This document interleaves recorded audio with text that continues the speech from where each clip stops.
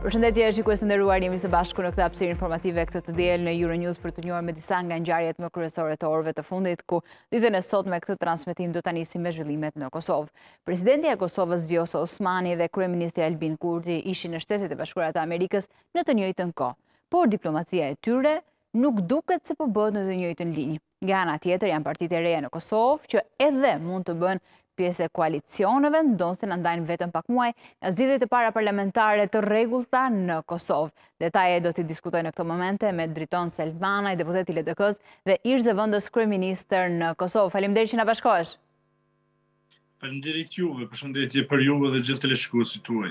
Dua si fillim një rezume, nëse mund ta quaj të tillë, si është situata aktuale politike në Kosovë, në një kohë që shohim dy eksponentët më të rëndësishëm të politikës në vendin tuaj, që kanë zgjedhur kahje të ndryshme të politikëbërjes, por edhe raportin me ndërkombëtarët në një kohë që Kosova, me sa duket është ajo pika e kuqe ku ndërkombëtarët janë dhe vëzhgojnë. Hmm.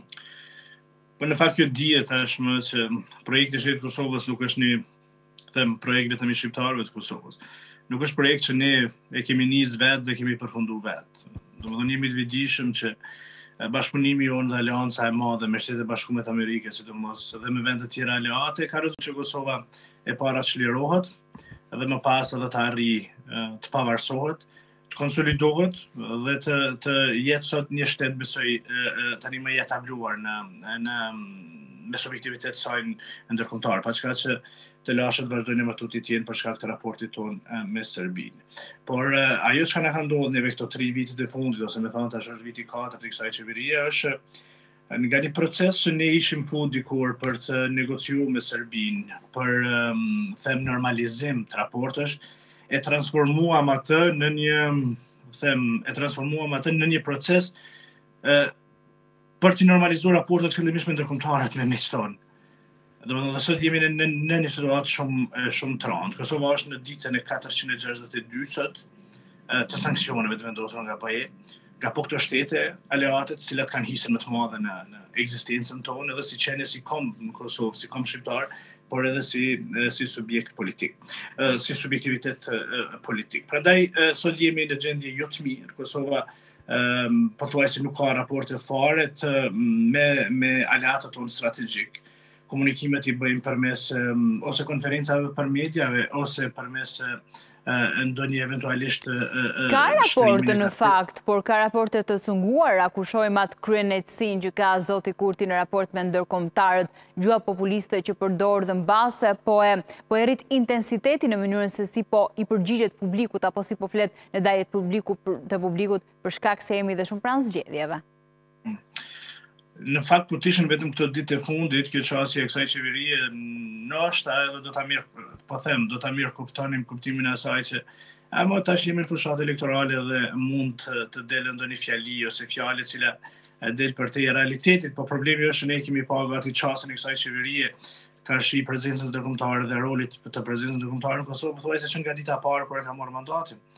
Dhe ne sot nga një partner serioz që ishim me me me SHBA dhe vendet aleate, sot shihemi me shumë skepticizëm, me shumë dilema.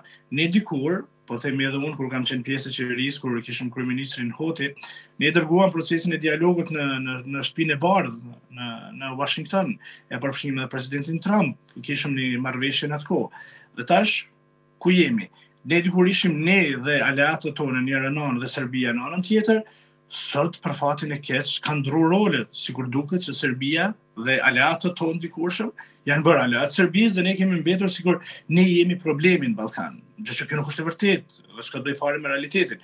Përderisa ne sot jemi thash në ditën e 462 të sanksioneve, Serbia nënshkruan me me SHBA-të marrëveshje miliardëshe për energjinë.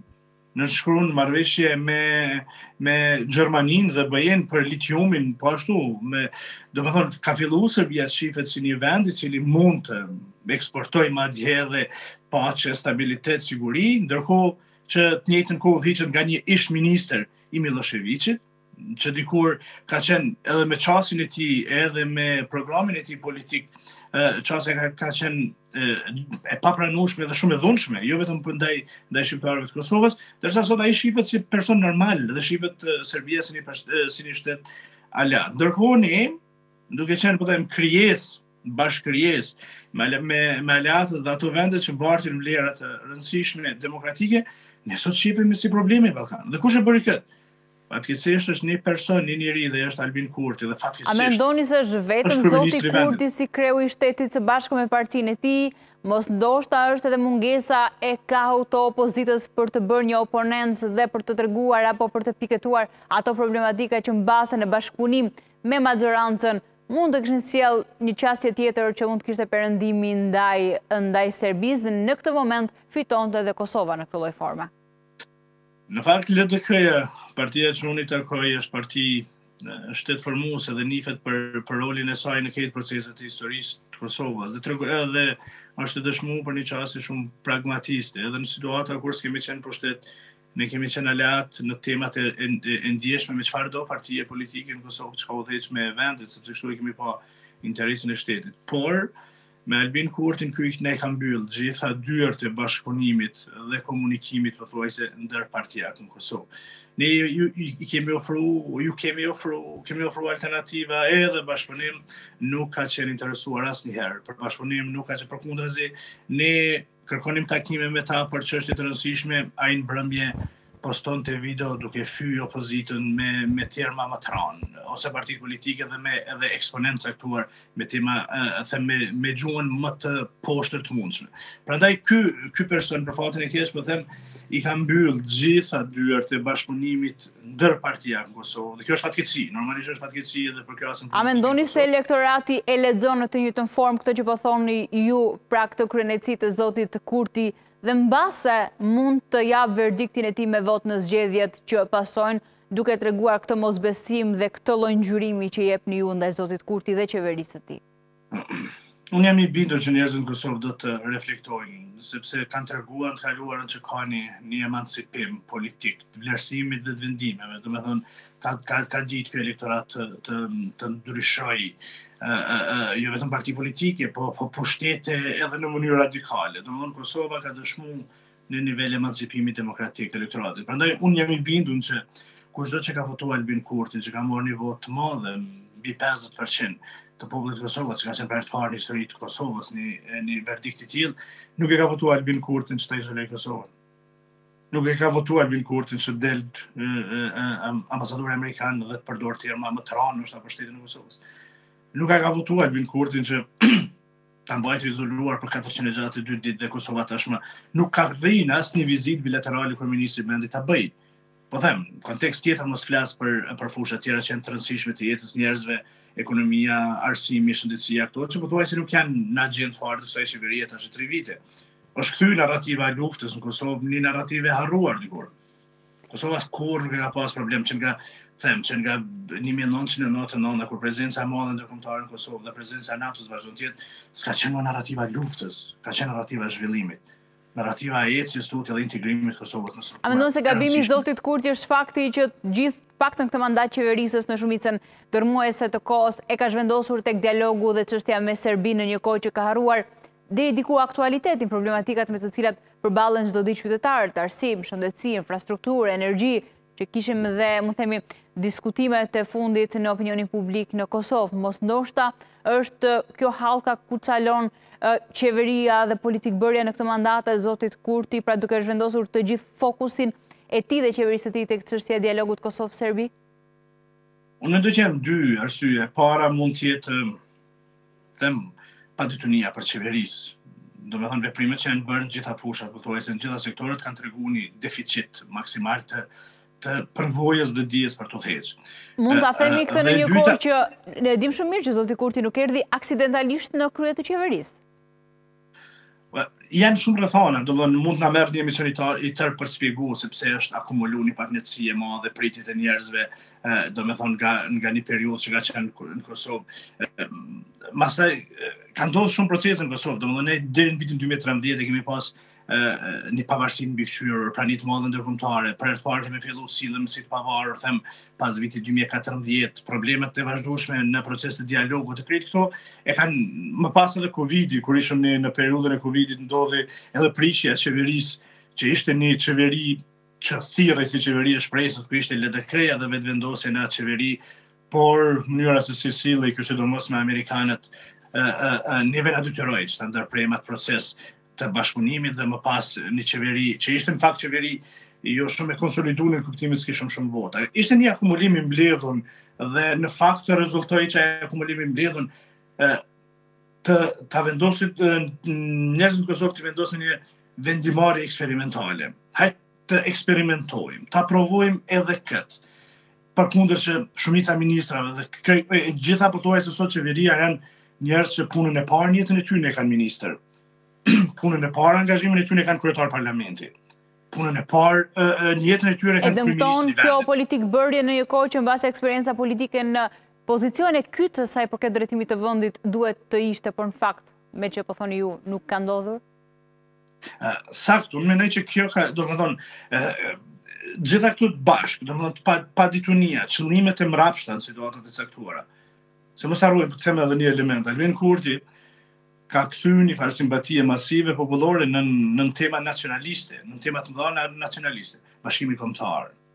Do ta heqin këtë flamur, do ta sjellin flamurin edhe më pas, do të flamurin kombëtar, ë ë shqiptarëve që është flamuri, domethënë ka prek sentiment, ka prek sentiment popullor në Kosovë që është shumë i ndjeshëm. Është faji i zotit Kurti për këtë lloj zgjedhje apo është faji i popullatës dhe elektoratit që Ende pas kaq shumë vitesh çlirimi në një kohë që KFOR-i është aty, me sa duket institucionet europiane po prapë janë aty, zhvendoset vëmendja tek tek çështjet kombëtare, nacionale dhe jo tek problematikat që me të vërtetë përballen qytetarët sot. Me sa duket nuk është vetëm problem i Kurtit. Ju them Ju them drejt, normalisht kjo është është është sentiment që qëndron gjithmonë, domethënë është shumë më i fuqishëm se në të gjitha trojet shqiptare. Në Kosovë një sentimenti nacionalist, për shkak të historisë tonë të rëndë që i kemi pas. Ekziston gjithmonë, por çka ka ndodhur vitet e fundit ka ndodhur që pragmatizmi të fitojë mbi nacionalizmin. Dhe kjo ka qenë e rëndësishme, sepse kemi fituar shumë, po të mbeteshim peng i disa narrativa tona historike dhe që janë shumë të etablume në Kosovë, nuk do t'i arrinim në, ashtu, këto që i kemi arritur sot. Dhe ai e ka prek atë sentiment. Po çfarë ndodhi? Nga një them lobues ose angazhues për bashkim kombëtar, sot është shndërru në përçarësin më të madh kombëtar. Domethënë nuk ka pothuajse fare komunikim me Tiranën zyrtare. Nuk ka fare komunikim, ose përzierjet në Maqedoni ka bërë, i ka përçarë shqiptarët në Maqedoni, i ka përçarë shqiptarët në Luginë të Preshevës. Domethënë çdokund ku ky u përfshi, ka, ka bërë probleme. Probleme me shqiptarët, probleme me ndërkombëtarët, probleme me qeverisjen e mbrendshme, atëherë hmm, çfarë i duhet, çka i duhet Kosovës një kryeministër i tillë. Nëse nëse është kjo që thua ti, nëse të gjitha mund të themi detaje që përmende korrespondojnë me të vërtetën reale atje. Dhe ndodh që një mandat tjetër vjen për zotin Kurti, është faj i qytetarëve dhe i elektoratit që i jep votën, apo është aftësia e tij bindëse ndaj elektoratit dhe kryesisht elektoratit gri. Të them drejtën, unë nuk është, nuk po them asgjë tjetër përpos fakteve të cilat kanë ndodhë këto 4 vite në Kosovë. Dhe të gjitha këto që i thashë, ju mund t'i verifikoni të gjitha, nuk është, s'janë opinione, s'po flas në cilësinë e analistit, po flas me, me argumente. Nëse ndodh eventualisht edhe një herë, një gjë e tillë që nuk e besoj kurrë, Nuk e besoj që që do të përsëritet rezultati i njëjtë. Ë ë atëherë atëherë do do të na dërgojë në disa rrafshe para për të diskutuar dhe ne si opozitë a kemi bërë punën tonë të mjaftueshme për ta çmontuar them këtë narrativë mashtruese ose këtë keqqeverisje tek njerëzit, apo njerëzit kërkojnë njerëz të tillë eksperimentalë që gënjejnë, mashtrojnë, por qenkan atraktivë në publik. po them kjo është analizë do të bëjmë uh, pak më më më të gjerë. Unë jam i bindur, po them duke e pa atë kalimin. Duke e pa atë kalimin dhe mënyrën si ka vendos si kanë vendos njerëzit në Kosovë. Unë jam i bindur që elektorati në Kosovë ka një emancipim të konsolidum politik dhe demokratik dhe jam i bindur që nuk do ta përsërisë. Domethënë se ka mendu që kjo qeveri sepse këta vinin edhe me një narrativ thonin ne jemi qeveri e shpresës. Në fakt kjo qeveri nga një qeveri e shpresës u shndërru në makth për njerëzit. Domethënë nëse dikur kemi mendu që po kthehet shpresa për të jetu në Kosovë, sot kemi informata që mbi 200 mijë njerëz gjatë kësaj qeverie e kanë lëshu Kosovën dhe shumica e tyre të rinj. Atëherë nëse nëse ai Kosova është bërë vend i pashpresë për të jetu atëherë unë mendoj që është koha e domosdoshme që kjo klasë politike mashtruese ose kjo kjo klasë e cila ka zgjedh propagandën si formë e të bërit politikë, por jo qasjen racionale dhe pragmatike për të ndryshu jetën e njerëzve në Kosovë, unë mendoj që duhet të marrë fund. Duhet të marrë fund kjo dhe më pas duhet t'i kthehemi realitetit tonë. Realitetit njerëz që punojnë, njerëz që kanë ndërgjegje të pastër, njerëz që kanë vullnet për të luftu fenomenet negative që nuk them që nuk janë të pranishme në Kosovë, por që duhet me një me një me një qasje tjetër për të zhvillu vendin, me një qasje më së Jemi shumë pranë zgjedhjeve parlamentare të 2025-s dhe shohim që mbase jo zyrtarisht fushata ka filluar në forma të ndryshme. Do të bëjë partia juaj a është gati për koalicione dhe sa gati jeni për këto zgjedhje duke prekur edhe elektoratin në terren? LDK-ja që nga ardhja e Zotit Kurti në qeveri, ne kemi bërë ndryshimet në parti, domethënë kemi ndrru kryetarin e partisë, kemi ndrru strukturat e partisë, kemi majtë zgjedhjet e mrendshme, kemi konsolidu partinë në çdo segment të nevojshëm. Ne jemi të gatshëm, LDK-ja është shumë e gatshme që të shkojë në e në zgjedhje. E kemi edhe programin tonë, ndoshta jemi partia e vetme politike që kemi programin tashmë tash e disa muaj, edhe njerëzit e kanë në dorë programin Rruga e Re. Uh, ne nuk do të bëjmë koalicione para paraprake me asnjë parti politike, mund të bëjmë koalicione që bën pjesë e listës tonë, por jo koalicione ndërmjet partive politike.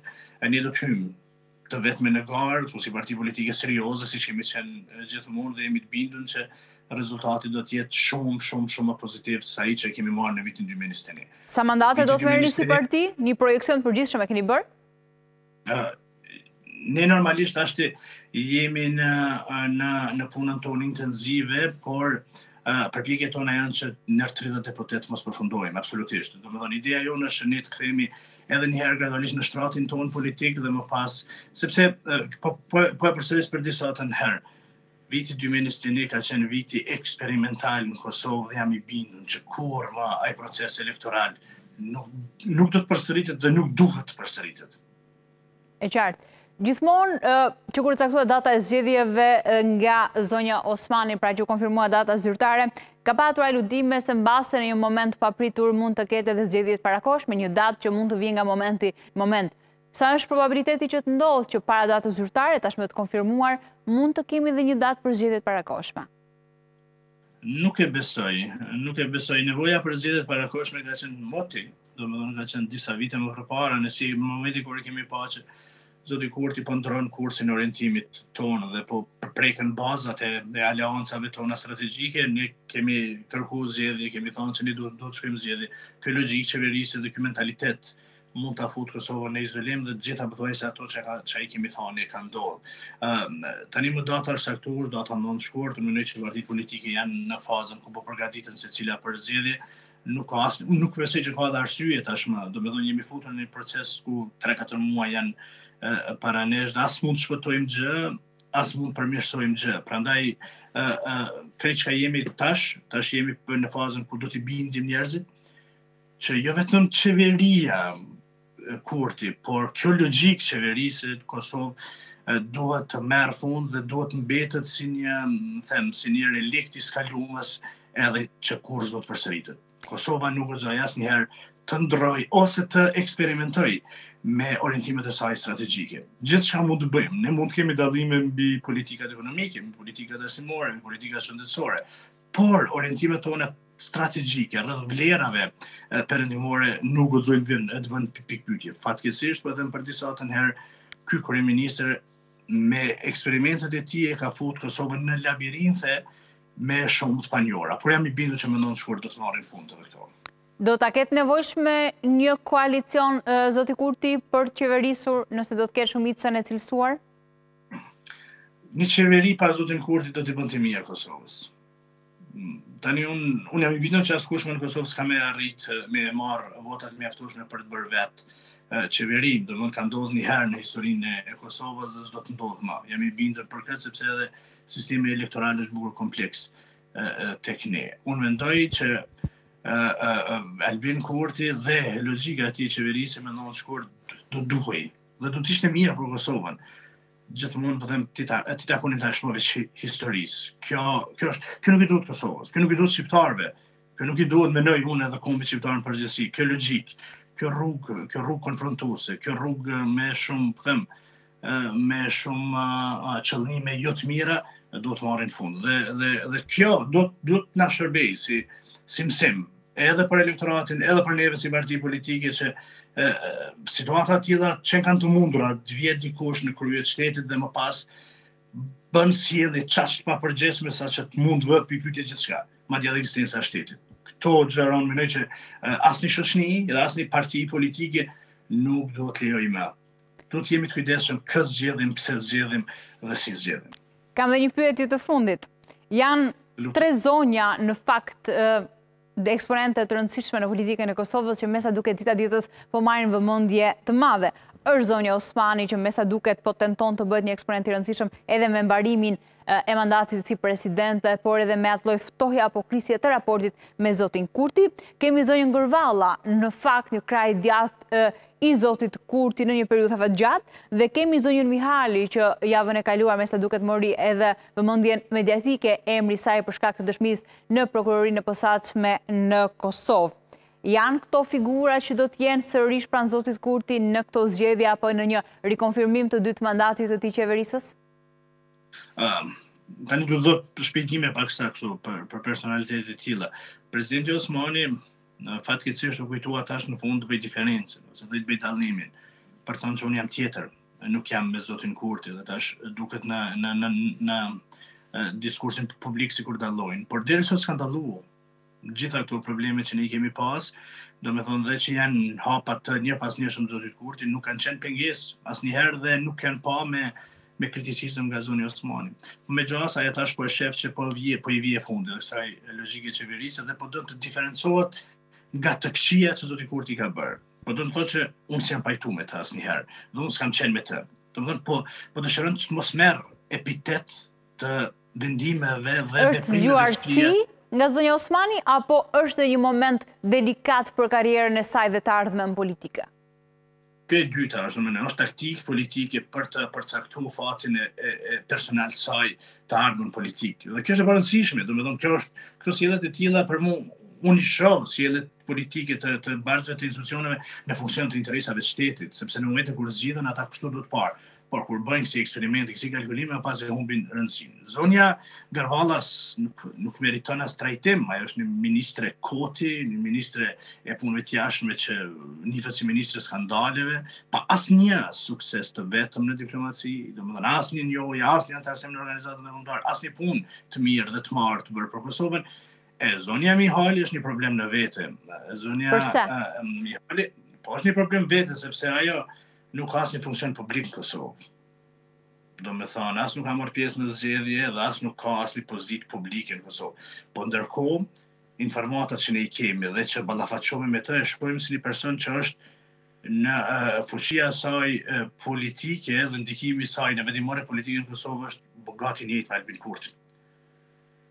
Pse sulmohet aq shumë zonja Gërvalla, mos ndoshta për faktin se është grua, se është nga Shqipëria, se në bazë, pra, ka disa teori të ndryshme se pse po sulmohet aq shumë zonja Mihali edhe jo. pas dëshmisë në Prokurorinë e Kosovës?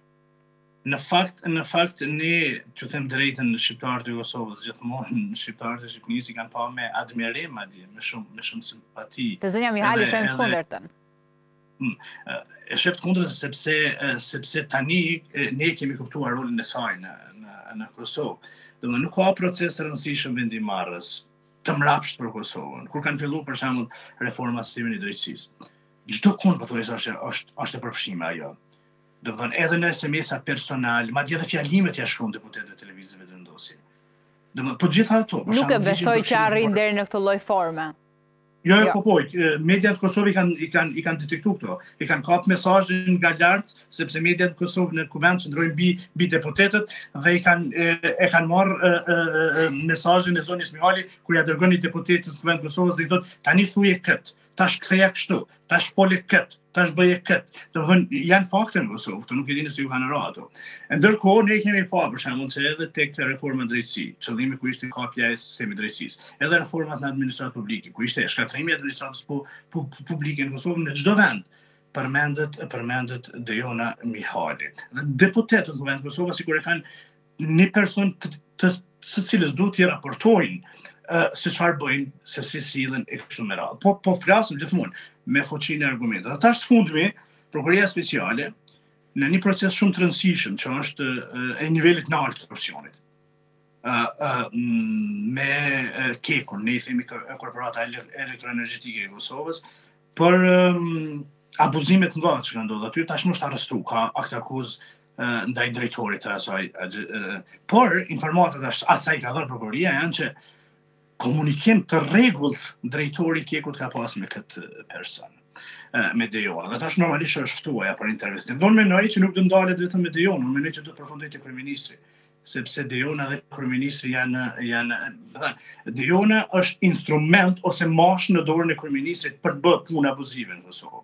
për qeverisë keq dhe për të provu kapjen e shtetit që në fakt kishin ide për çkapjen e shtetit. Prandaj unë kështu e shoh, kur njerëz pa funksione publike kanë peshë të tillë në fuqinë vendimmarrëse, kjo më pas të dërgon te një qasje tjetër, domethënë Kosova, domethënë po qeveriset nga parapolitika.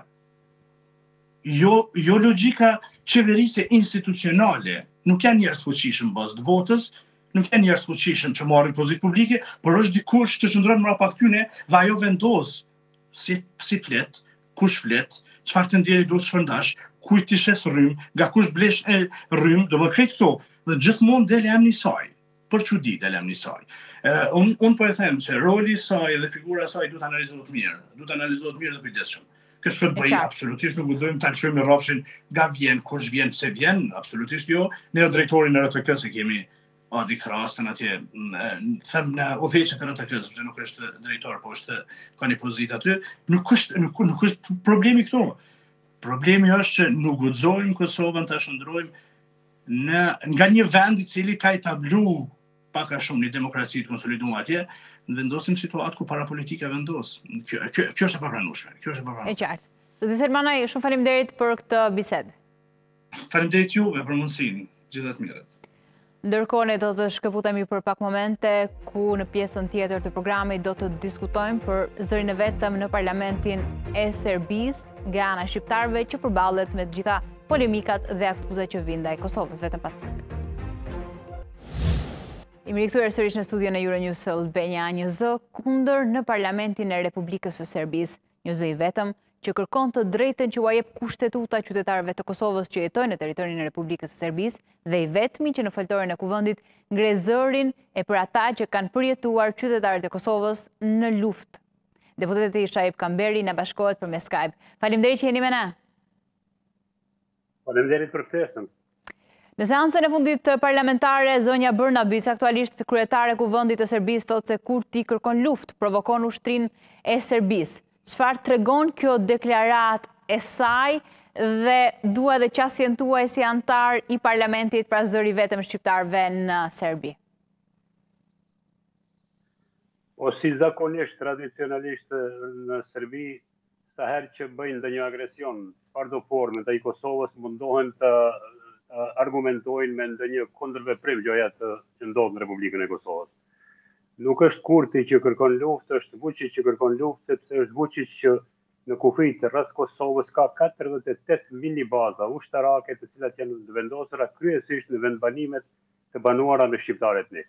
Pra, një militarizim i skajshëm i rajonit, Një përforcim i shtuar i forcave ushtarake në zonën e Kopaunikit, Kopaunikut, një sulm terrorist çfarë ishte Banjska, me tendenca të përsëritjes së saj, dëshmojnë qartë se Republika e Serbisë, retorika e saj që po përdoret ndaj Kosovës, është ajo që kërkon luftë dhe siç e thonë vetë ata në një kohë kur do të ndryshojnë raportet gjeopolitike. Pra, në vazhdimësi ata presin një ndryshim të raporteve gjeopolitike e kjo do të thotë ata presin fitoren e Rusisë në Ukrainë dhe shtrirjen e frontit të saj edhe në Ballkan, në mënyrë që Serbia të ketë mundësi që në këtë formë së paku të aneksojë veriun e Kosovës që ishte tendenca kryesore dhe e sulmit terrorist në Banjskë.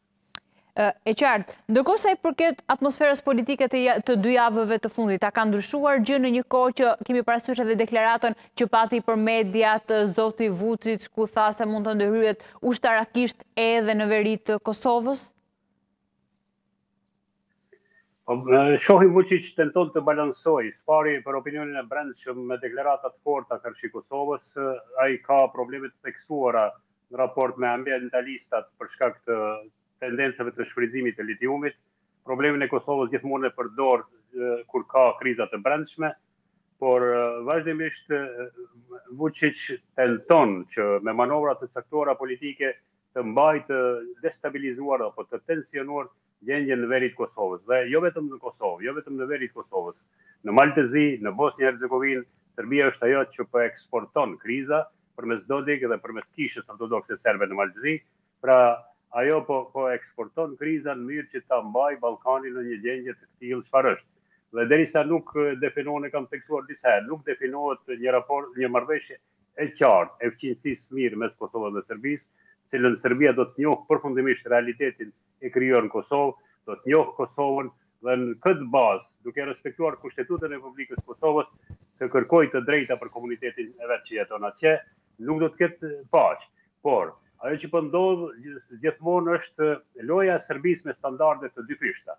Aleksandar Vuçiq kërkon ndarjen e drejtësisë në Kosovë, ndërkohë që mohon të drejtat e të gjitha minoriteteve që jetojnë brenda territorit të vet. Dhe derisa në Kosovë pakicat serbe përbëjnë rreth tre për qind, në Serbi pakicat kombëtare përbëjnë njëzet për qind të popullsisë së gjithëmbarshme. Prandaj, Serbia mund të thuhet se është më heterogjene se sa Kosova, por që Vuçiç refuzon me këmbëngulësi që komuniteteve në territorin e vet t'i japë të drejtat të cilat i takojnë. Pra, Aleksandër Vuçiq duke luftuar për pushtetin e vet, përdor krizën e Kosovës, në vazhdimësi në tridhjetë vitet e fundit në Serbi përdoret çështja e Kosovës për të fituar poena dhe vota nga ultranacionalistët, për të pasur një mbështetje nga kisha, dhe për të ruajtur pushtetin, përfundimisht si çdo autokrat tjetër. A po bëhet më agresive opozita në Serbi që në këtë lloj kundërpërgjigjeje zoti Vuçiç po zhvendos vëmendjen tek veriu i Kosovës dhe jo vetëm, ku sheh që te çështja e litiumit opozita ka dhe kryengritje qytetare që mbase nuk e duan politikëbërjen e tij. Po, ka, ka një zë më të theksuar opozitar.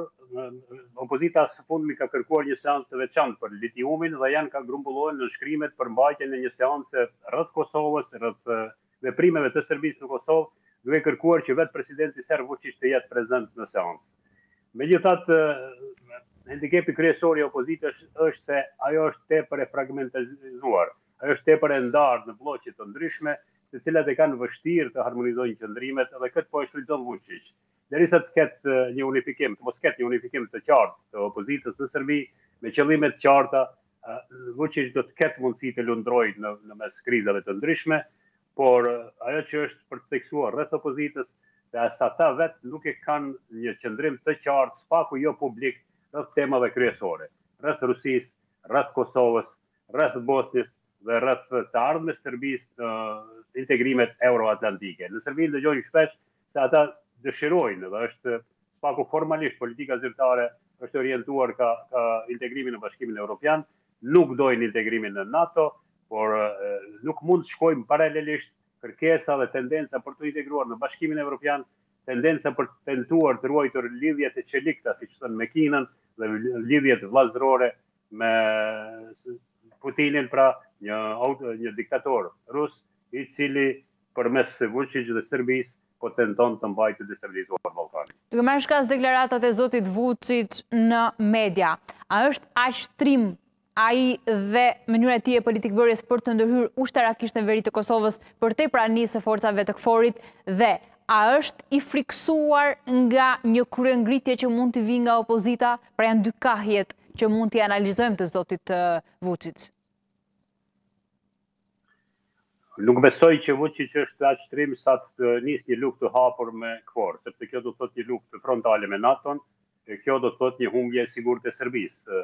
Tendenca e tij, siç ishte ishte sulmi terrorist në Banjskë, duke tentuar që me një rebelim, siç thotë, të brendshëm të serbëve të Kosovës, të krijojë një situatë pat pozicion, të cilën ai e dëshiron një konflikt të ngrirë, ngjajshëm me Qipron. Sipas, besoj që sipas idesë së tij, kriza është dashur të shkaktohet brenda territorit të Kosovës, të ndërhyjë KFOR, të vendosë linjën e ndarjes dhe në këtë formë Serbia të ketë një kontroll edhe më të theksuar në veriun e Kosovës. Ajo që ndodhi, sulmi terrorist dështoi, Serbia dështoi në në shtrirjen e politikës së vet dhe përfundimisht autoritetet e Kosovës po e shtrijnë ndikimin sa më të madh në veri të Kosovës. Por ajo që është më e dëmshme për Vuçiq në këtë fazë është se serbët e Kosovës gradualisht po e humbin besimin te ai dhe te politika e Beogradit, dhe së fundmi, grupe të caktuara të serbëve të Kosovës kërkojnë bashkëpunim me opozitën në Beograd.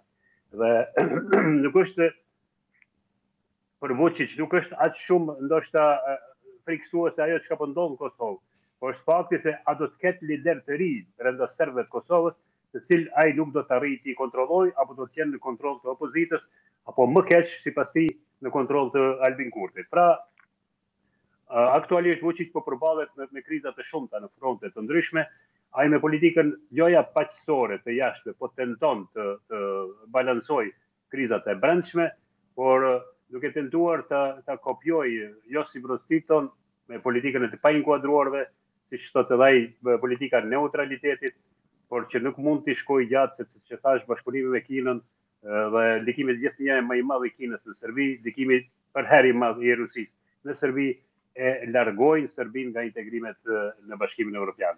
Deri sa do të, deri kur dhe deri sa do ta tolerojë dhe do ta përkëdhelë Perëndimi Vuçiq do ta shohim, por kam dyshim se nuk mund edhe Perëndimi nuk kanë aktualisht partnerë të sigurt në anën e opozitës për të pasur mundësi të kenë bashkëbisedues serioz.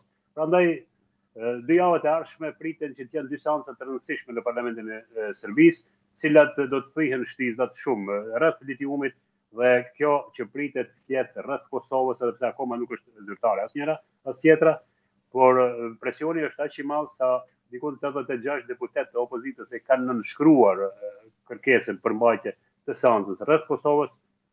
Do të shohim si cila do të jetë përgjigja e Vuçiç. Ai sot apo dje është kthyer nga nga New York Në ditët në vijim pritet të jepet një qëndrim përfundimtar rreth thirrjes së kësaj seance. Shpresa tjetër e zotit Vuçiç është edhe që parlamenti të bëjë disa ndryshime ligjore, pra të japë dritën jeshile sa i përket disa ndryshimeve tek detyrimi ushtarak, pra për të rikthyer shërbimin e detyrueshëm ushtarak, në një kohë që vetëm pak muaj më parë ka shtuar disa stoqe armësh, madje dhe armë të përdorura dhe jo të reja si stoqe në Serbi. Përse?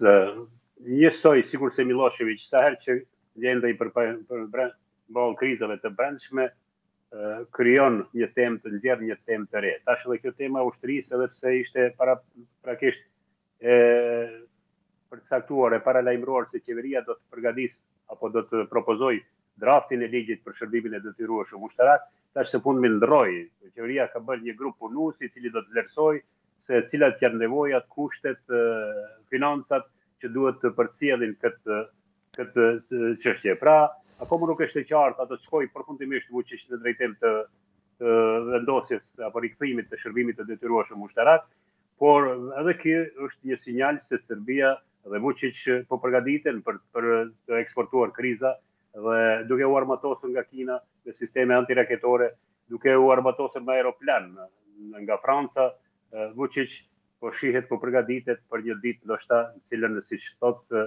ai dhe kryetarja e parlamentit aktualisht, Ana Bërnabiq në ditët kur pritet të ndrojnë raportet gjeopolitike. Ndërkohë rikujtojmë se edhe Kroacia ka rikthyer shërbimin e detyrueshëm ushtarak dhe me një gjeneral që kam patur një bisedë një intervistë më tha që po, deri diku lakohet edhe Serbia si një rrezik potencial për na.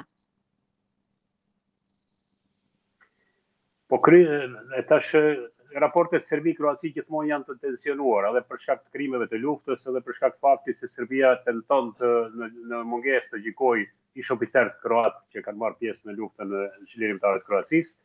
Prandaj raportet e tyre janë gjithmonë të tensionuara dhe njëra tjetrën po e shfrytëzojnë krizën që ekziston mes dyjave, po e shfrytëzojnë për t'u armatosur. Derisa Kroacia ishte armatosur më herët me avionë Rafal, Serbia ka bërë një kontratë tre miliardë euro për t'u armatosur me ata aeroplanë, por synimi kryesor i Serbisë është Bosnja dhe veriu i Kosovës. Serbia ka të qartë që nuk mund të nisë luftë hapur me Kroacinë, mund të mbajë, mund të ketë një retorikë armiqësore, mund të ketë retorikë shpërthyese, por jo të shkojë deri në fund. Pra, ajo që Është rrezik potencial është Bosnja dhe eventualisht veriu i Kosovës të cilën ata po presin ditë më të mira. Ditët e fundit kreu i CIA-s i ka kërkuar Aleksandër Vulit, pra numri dy të qeverisë serbe, që të njohë Kosovën.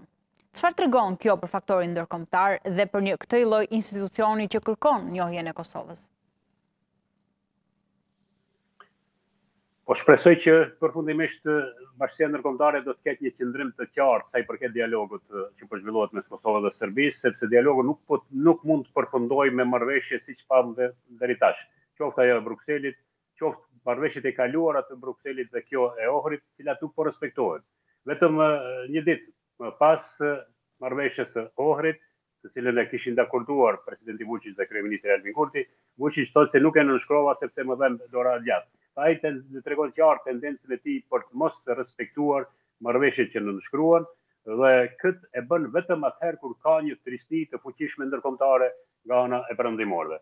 Në këtë aspekt shpresoj që vizita e kreut të CIA-s të ketë pasur këtë impakt që ta bindë përfundimisht Serbinë që nuk ka rrugë tjetër për të ndjekur përveç asaj të një fqinjësie të mirë e cila arrihet përmes marrëveshjes të njohjes së dypalshme mes dy shteteve sepse është rruga e vetme që e çon Ballkanin Perëndimor në stabilitet. Përndryshe, çfarëdo tentative tjetër për të blerë kohë, edhe Serbia është e prirur gjithmonë me tentativa për të blerë kohë, për të nënshkruar marrëveshjeve dhe mos respektuar ato, për të blerë kohë, për ta shtyrë problemin për ndonjë ditë tjetër.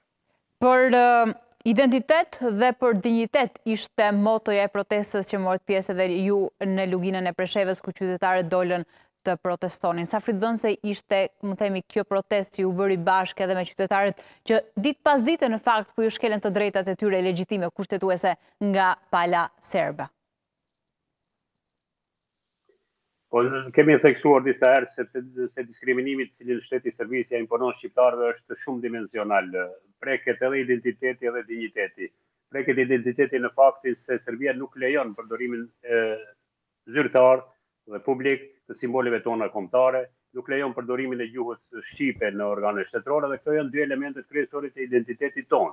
Pra, pavarësisht se disa të drejta janë të garantuara dhe me vetë Kushtetutën e Serbisë, pavarësisht se Serbia është një shtet i cili zyrtarisht është në agjendën e integrimit në Bashkimin Evropian, ajo vazhdon me politikën e vet diskriminuese.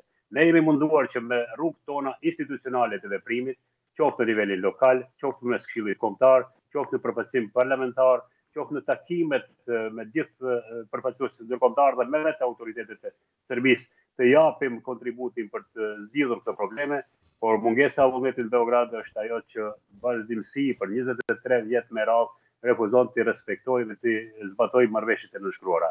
Prandaj nuk na ka mbetur rrugë tjetër që krahas veprimit institucional të kemi edhe këtë reagim qytetar të ngritjes në radhë të parë të vetëdijes dhe vëmendjes të bashkësisë ndërkombëtare, sepse ajo ishte garantuese e marrëveshjeve të cilat ne i kemi nënshkruar me Beogradin. Dhe në radhë të parë kërkojmë nga ajo që të jetë më proaktive në Luginë të Preshevës që të bindet dhe të detyrohet Beogradi të respektojë standardet dhe marrëveshjet e nënshkruara. Zoti Kamberi, cili është raporti juaj me Albin Kurtin? Raporti sikurse me kryeministrin e Republikës Kosovës, në vazhdimësi ne jemi munduar në tërësi politika shqiptare që pavarësisht lidhjeve që mund të ketë me partitë e caktuara politike në Prishtinë, të kemi raporte prioritare dhe më të mira me qeverinë e Republikës Kosovës dhe dëshira jonë është kemi raporte sa ma të fuqishme edhe me qeverinë e Republikës Shqipërisë, sepse shqiptarët këtu janë pak, me një shtet të këtillë dhe potencial diskriminues çfarë është Serbia, e kanë të pamundur vetë të përballen, kemi arrit të të mbijetojmë në këto njëzet e tre vite pas përfundimit të konfliktit, por e shohim se largimi i njerëzve po e zvogëlon edhe fuqinë tonë rezistuese. Prandaj këtu vjen në shprehje ndihma që duhet të vijë ma e madhe nga Kosova, ndihma nga Shqipëria për t'i ndihmuar shqiptarët që të përballen me këtë situatë e cila në vazhdimësi po e zvogëlon bërthamën tonë kombëtare këtu. Zoti Kamberi, është hera e parë që ju intervistoj për Euronews. Sa peshë dhe përgjegjësi ka për ju si individ, përpara se të jeni dhe politikan apo drejtues partie si dhe deputet, Përfaqësimi i të drejtave dhe i lirive që duhet të ketë një qytetar i Kosovës por që jeton në territorin e Republikës Serbe. Sa e vështirë është për ju edhe në momentin që jeni në foltoren e parlamentit dhe duhet të ngrini zërin për vete por edhe për ta. Po ne kemi pas angazhime dhe, dhe luftë të përgjithshme dhe të përditshme politike dhe të armatosur kundër diskriminimit të Beogradit. Në vitin dy mijë e një, kur është përfunduar lufta e UÇPMB-së, jemi futur në një proces politik me Beogradin, të cilin na ka garantuar bashkësia ndërkombëtare me gjithë pjesëmarrësit e saj, me NATO-n, me Bashkimin Evropian, me OSBE-në, me Këshillin e Evropës se ky proces politik do të jetë frytdhënës dhe do të arrijë të realizojë problematikat me të cilat përballen shqiptarët. Njëzet e tri vjet më vonë ne jemi po në gjendje të luftojmë për kërkesat e njëjta. Prandaj gjithë kjo është frustruese, sepse të merresh njëzet e tri vjet me të njëjtat çështje me një qendër vendosjeje e cila është e shurdhër ndaj kërkesave, ndaj kërkesave tuaja, është frustruese për mua si politikan, për kolegët e mi të tjerë, por natyrisht edhe për popullatën në përgjithësi. Dhe mosnjohja e diplomave si problem elementar i të drejtave elementare të, të njeriut që po ndodh prej vitit 2008, Është ajo që ka shkaktuar edhe largimin në masë të të rinjve tanë. Kjo është zhgënjyese, sepse kjo po ndodh, siç e thashë, në një shtet i cili formalisht është në rrugën e procesit të integrimit në Bashkimin Evropian dhe po ndodh në rrethanat kur gjithë bashkësia ndërkombëtare është prezente këtu dhe është e vetëdijshme për problemet të cilat i kanë shqiptarët. Por, duke, si gjithmonë, bashkësia ndërkombëtare vepron sipas prioriteteve, dhe duke u orientuar në prioritete të tjera disi ka lënë anash problematikat tona. Prandaj nuk është e lehtë të merresh me politikë këtu në rajonin tonë, as për mua, as për kolegët e mi, nuk është e lehtë të jesh shqiptar në tërësi në Serbi, por kjo nuk do të thotë se ne duhet të dorëzohemi. Ne duhet të vazhdojmë me të gjithë format e veprimit tonë, të cilat i kemi në disponim që përfundimisht të arrijmë objektivat të cilët i kemi vendosur përpara. Edhe një detaj të fundit, një pyetje të fundit, sa i përket zgjedhjeve parlamentare të vitit që vjen. Mendoni se mund të ndryshojë ndonjë gjë në raport me shqiptarët që jetojnë në Serbi? Mendoni në Kosovë? Në Serbi, nga zgjedhjet, pra mund të ndryshojë fokusi dhe t'i kushtohet më shumë vëmendje nga ana e politikës në Kosovë, qytetarëve që atje ju shkelen të drejtat dhe liritë? Unë mendoj se Serbia nuk nuk do të ndryshojë qasjen ndaj shqiptarëve derisa të ketë një trysni më të madhe ndërkombëtare. Mjerisht për momentin këtë nuk e ka, ka një një monitorim të them nga distanca, por jo edhe një monitorim çfarë jemi mësuar të kemi në vitin dy mijë e një, dy mijë e dy, të cilin Serbia ishte detyruar së pari të futet në marrëveshje për të gjitha problemet, por Menjëherë pas vrasjes së kryeministrit serb Gjingjiç, ishte ndërprerë ky proces politik dhe ne jemi duke në vazhdimësi në këto vite jemi duke tentuar ta ringjallim me me efekte pozitive. Por siç po shihet nga përvoja që kam, Serbia mund të veprojë pozitivisht vetëm atëherë kur ajo përballet me një qëndrim konkret të Bashkësisë Ndërkombëtare. Ju falenderoj shumë për këtë bisedë. Faleminderit juve. Ndërkohë ne do të kalojmë në zhvillime të tjera. 66 kg marijuanë është sekuestruar nga policia kufitare e Malit të Zi në fshatin Sukobin në Ulqin. 66 kg marijuanë janë sekuestruar nga policia kufitare e Malit të Zi në fshatin Sukobin të Ulqinit. Dy persona ishin duke transportuar lëndë narkotike nga Shqipëria drejt Malit të Zi. Sapo kanë vënë re shërbimet e policisë, kanë braktisur çantat e mbushura me marijuanë. Dy personat, ende të paidentifikuar, kanë arritur t'i shpëtojnë policisë, duke u rikthyer në territorin shqiptar. Pas informacionit se në këtë fshat të Ulqinit në afërsi të kufirit po trafikohej drogë, menjëherë uniformat blu kanë ndërhyrë. Gjatë kontrollit të ushtruar në zonë, shërbimet e policisë kanë gjetur tre çanta me njëqind e nëntëmbëdhjetë pako me marijuanë me peshë rreth gjashtëdhjetë e gjashtë kilogramë. Autoritetet policore të Shqipërisë janë në kërkim të dy trafikantëve të cilët arritën të arratiseshin. Rreth 39 për qind e popullsisë së rritur në Shqipëri është konsumatore e duhanit. Ekspertët vërejnë se në dy dekadat e fundit, vëndi ynë nuk ka bërë hapa pozitivë për të reduktuar numrin e duhanpirësve. Rreth 39 për qind e popullsisë së rritur në Shqipëri është konsumatore e duhanit. Ekspertët vërejnë se në dy dekadat e fundit, vëndi ynë nuk ka bërë hapa pozitivë për të reduktuar numrin e duhanpirësve, nëpërmjet lënies së tij. Ne nuk kemi patur efekt në lënien e duanit. Në Shqipëri, afro dhjetë mijë persona e lënë duanin çdo vit.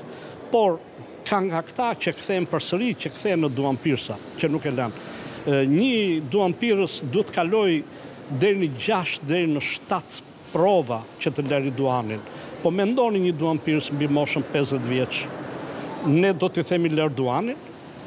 Pra duhet të kalojnë gjashtë, shtatë prova për të lënë duanin, që edhe këto duan dy, tre vite. Studimet e shumta faktojnë lidhjen mes duhanpirjes në kohë të gjatë dhe dëmeve në shëndet. Duhanpirësit mbi moshën pesëdhjetë vjeç janë katër herë më shumë të rriskuar nga infarkti i miokardit sesa nga sesa ata që nuk janë duhanpirës, ose tre deri në pesë herë më shumë për sëmundjet pulmonare e obstruksioneve të mushkërisë.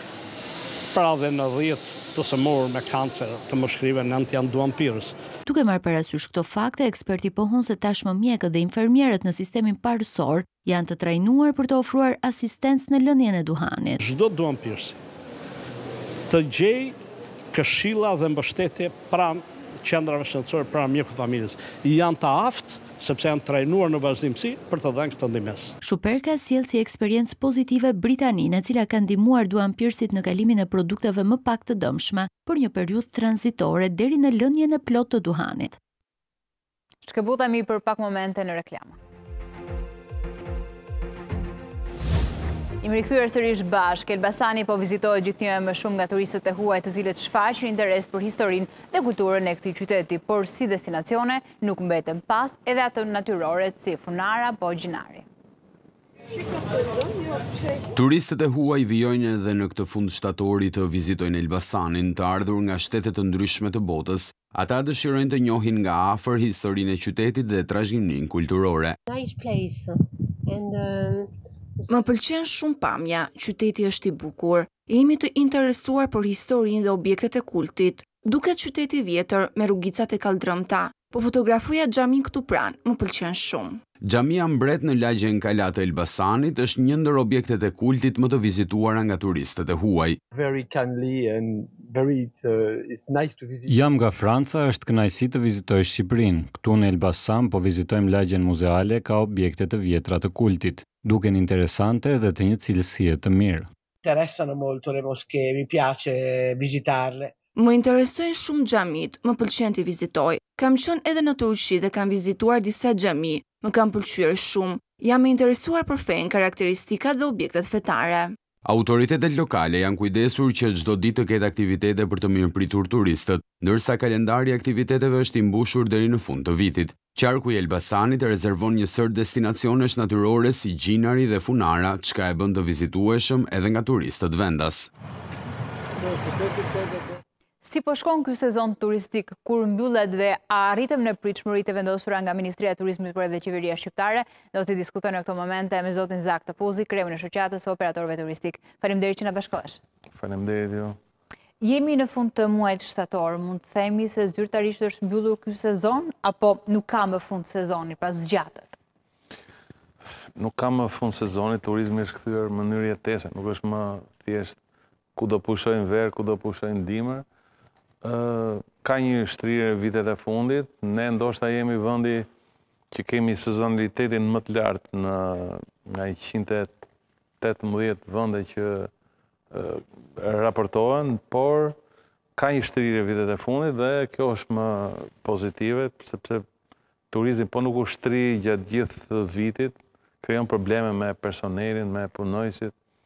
Është një vit më i mirë, duket një vit më i mirë, ka rreth 20% më shumë lëvizje të huajve nëpër Shqipëri. Korriku, gushti nuk kanë qenë ata që priteshin, kryesisht për zonat bregdetare, por nuk është çështje vetëm e Shqipërisë, domethënë edhe Spanja që është lideri i turizmit, por edhe Mali i Zi, Maqedonia, edhe Greqia kanë pasur më pak turistë nga 5 deri në 10% krahasuar me një vit apo me disa vite më parë, vetëm në pjesën e bregdetit, kurse në përgjithësi pastaj ka pasur turistë nga të gjithë llojet, është interesante se pothuajse në korrik dhe gusht nuk është se turistët që kanë ardhur kanë qenë turistë vetëm të plazhit, pra një e treta e tyre nga anketat kanë shfrytëzuar plazhin, kanë lëvizur nëpër gjithë Shqipërinë, Është e rëndësishme që e konsiderojnë Shqipërinë një vend të sigurt. Po t'i shikosh lëvizjet janë me familje, me grup, me fëmijë të vegjël. Kështu që ka një farë garancie dhe kjo është pozitive në përgjithësi. E qartë. Sa i përket pritshmërive që krijuan autoritetet tona të turizmit dhe jo vetëm, pompuan një shifër, pra katërmbëdhjetë milionë turistë në gjithë harkun kohor, intervalin kohor të një viti, Besoni se ishin vërtet tek pritshmëritë apo duke u shfaqur të huajve, kryesisht pjesën low cost, duke u ndërtuar, mund të themi, guida, duke piketuar destinacione përveç rivierës dhe vijës bregdetare, tentuan ta arrijnë këtë shifër? Në fakt, 4 muajt e parë ishin një bum lëvizjesh të të huajve, pra INSTAT-i është korekt me fjalët., Qeveria përdor turizëm, numri i turistëve, kurse INSTAT-i thotë lëvizja e të huajve, pritej pasi Kosova pati mundësi të lirohej, lëvizte pa viza dhe aeroporti i Rinasit u kthye një aeroport rajonal edhe low cost, ishin gati 110 fluturime direkte nëpër qytetet kryesore të Europës dhe këto i dhanë mundësi të kishte një bum lëvizjesh, nga gjithë rajoni, po kryesisht Kosova, të cilët shfrytëzuan këtë rast, lëvizjen jo vetëm për të vizituar të huajt, po edhe për të parë qytetet e Evropës që s'kishin pas mundësi t'i vizitonin, por edhe për të kërkuar punë, se edhe Kosova ka të njëjtat probleme dhe gradualisht u zbeh lëvizja. Mund të kenë qenë punëtorë sezonale ata që kanë kaluar kufirin e Kosovës, pastaj drejt Greqisë apo drejt vendeve fqinje, dhe është janë lexuar si turistë? Do të duhet një analizë më e hollësishme në fund të sezonit, ne duhet t'ia kërkojmë Instatit, pasi është shumë e thjeshtë për të gjetur se këta turistë kanë qenë turistë vërtet apo kalim tranzit, pasi një turist duhet të qëndrojë të paktën 24 orë që të quhet turist. Besoj se Sistemet elektronike sot e gjejnë. Dhe e rëndësishme është që ne duhet të bëjmë një analizë të saktë, nuk duhet të ngopemi dhe të dehemi nga shifrat, e rëndësishme është që numri i turistëve të jetë real dhe në bazë të tyre të bëjmë dhe strategji dhe statistika.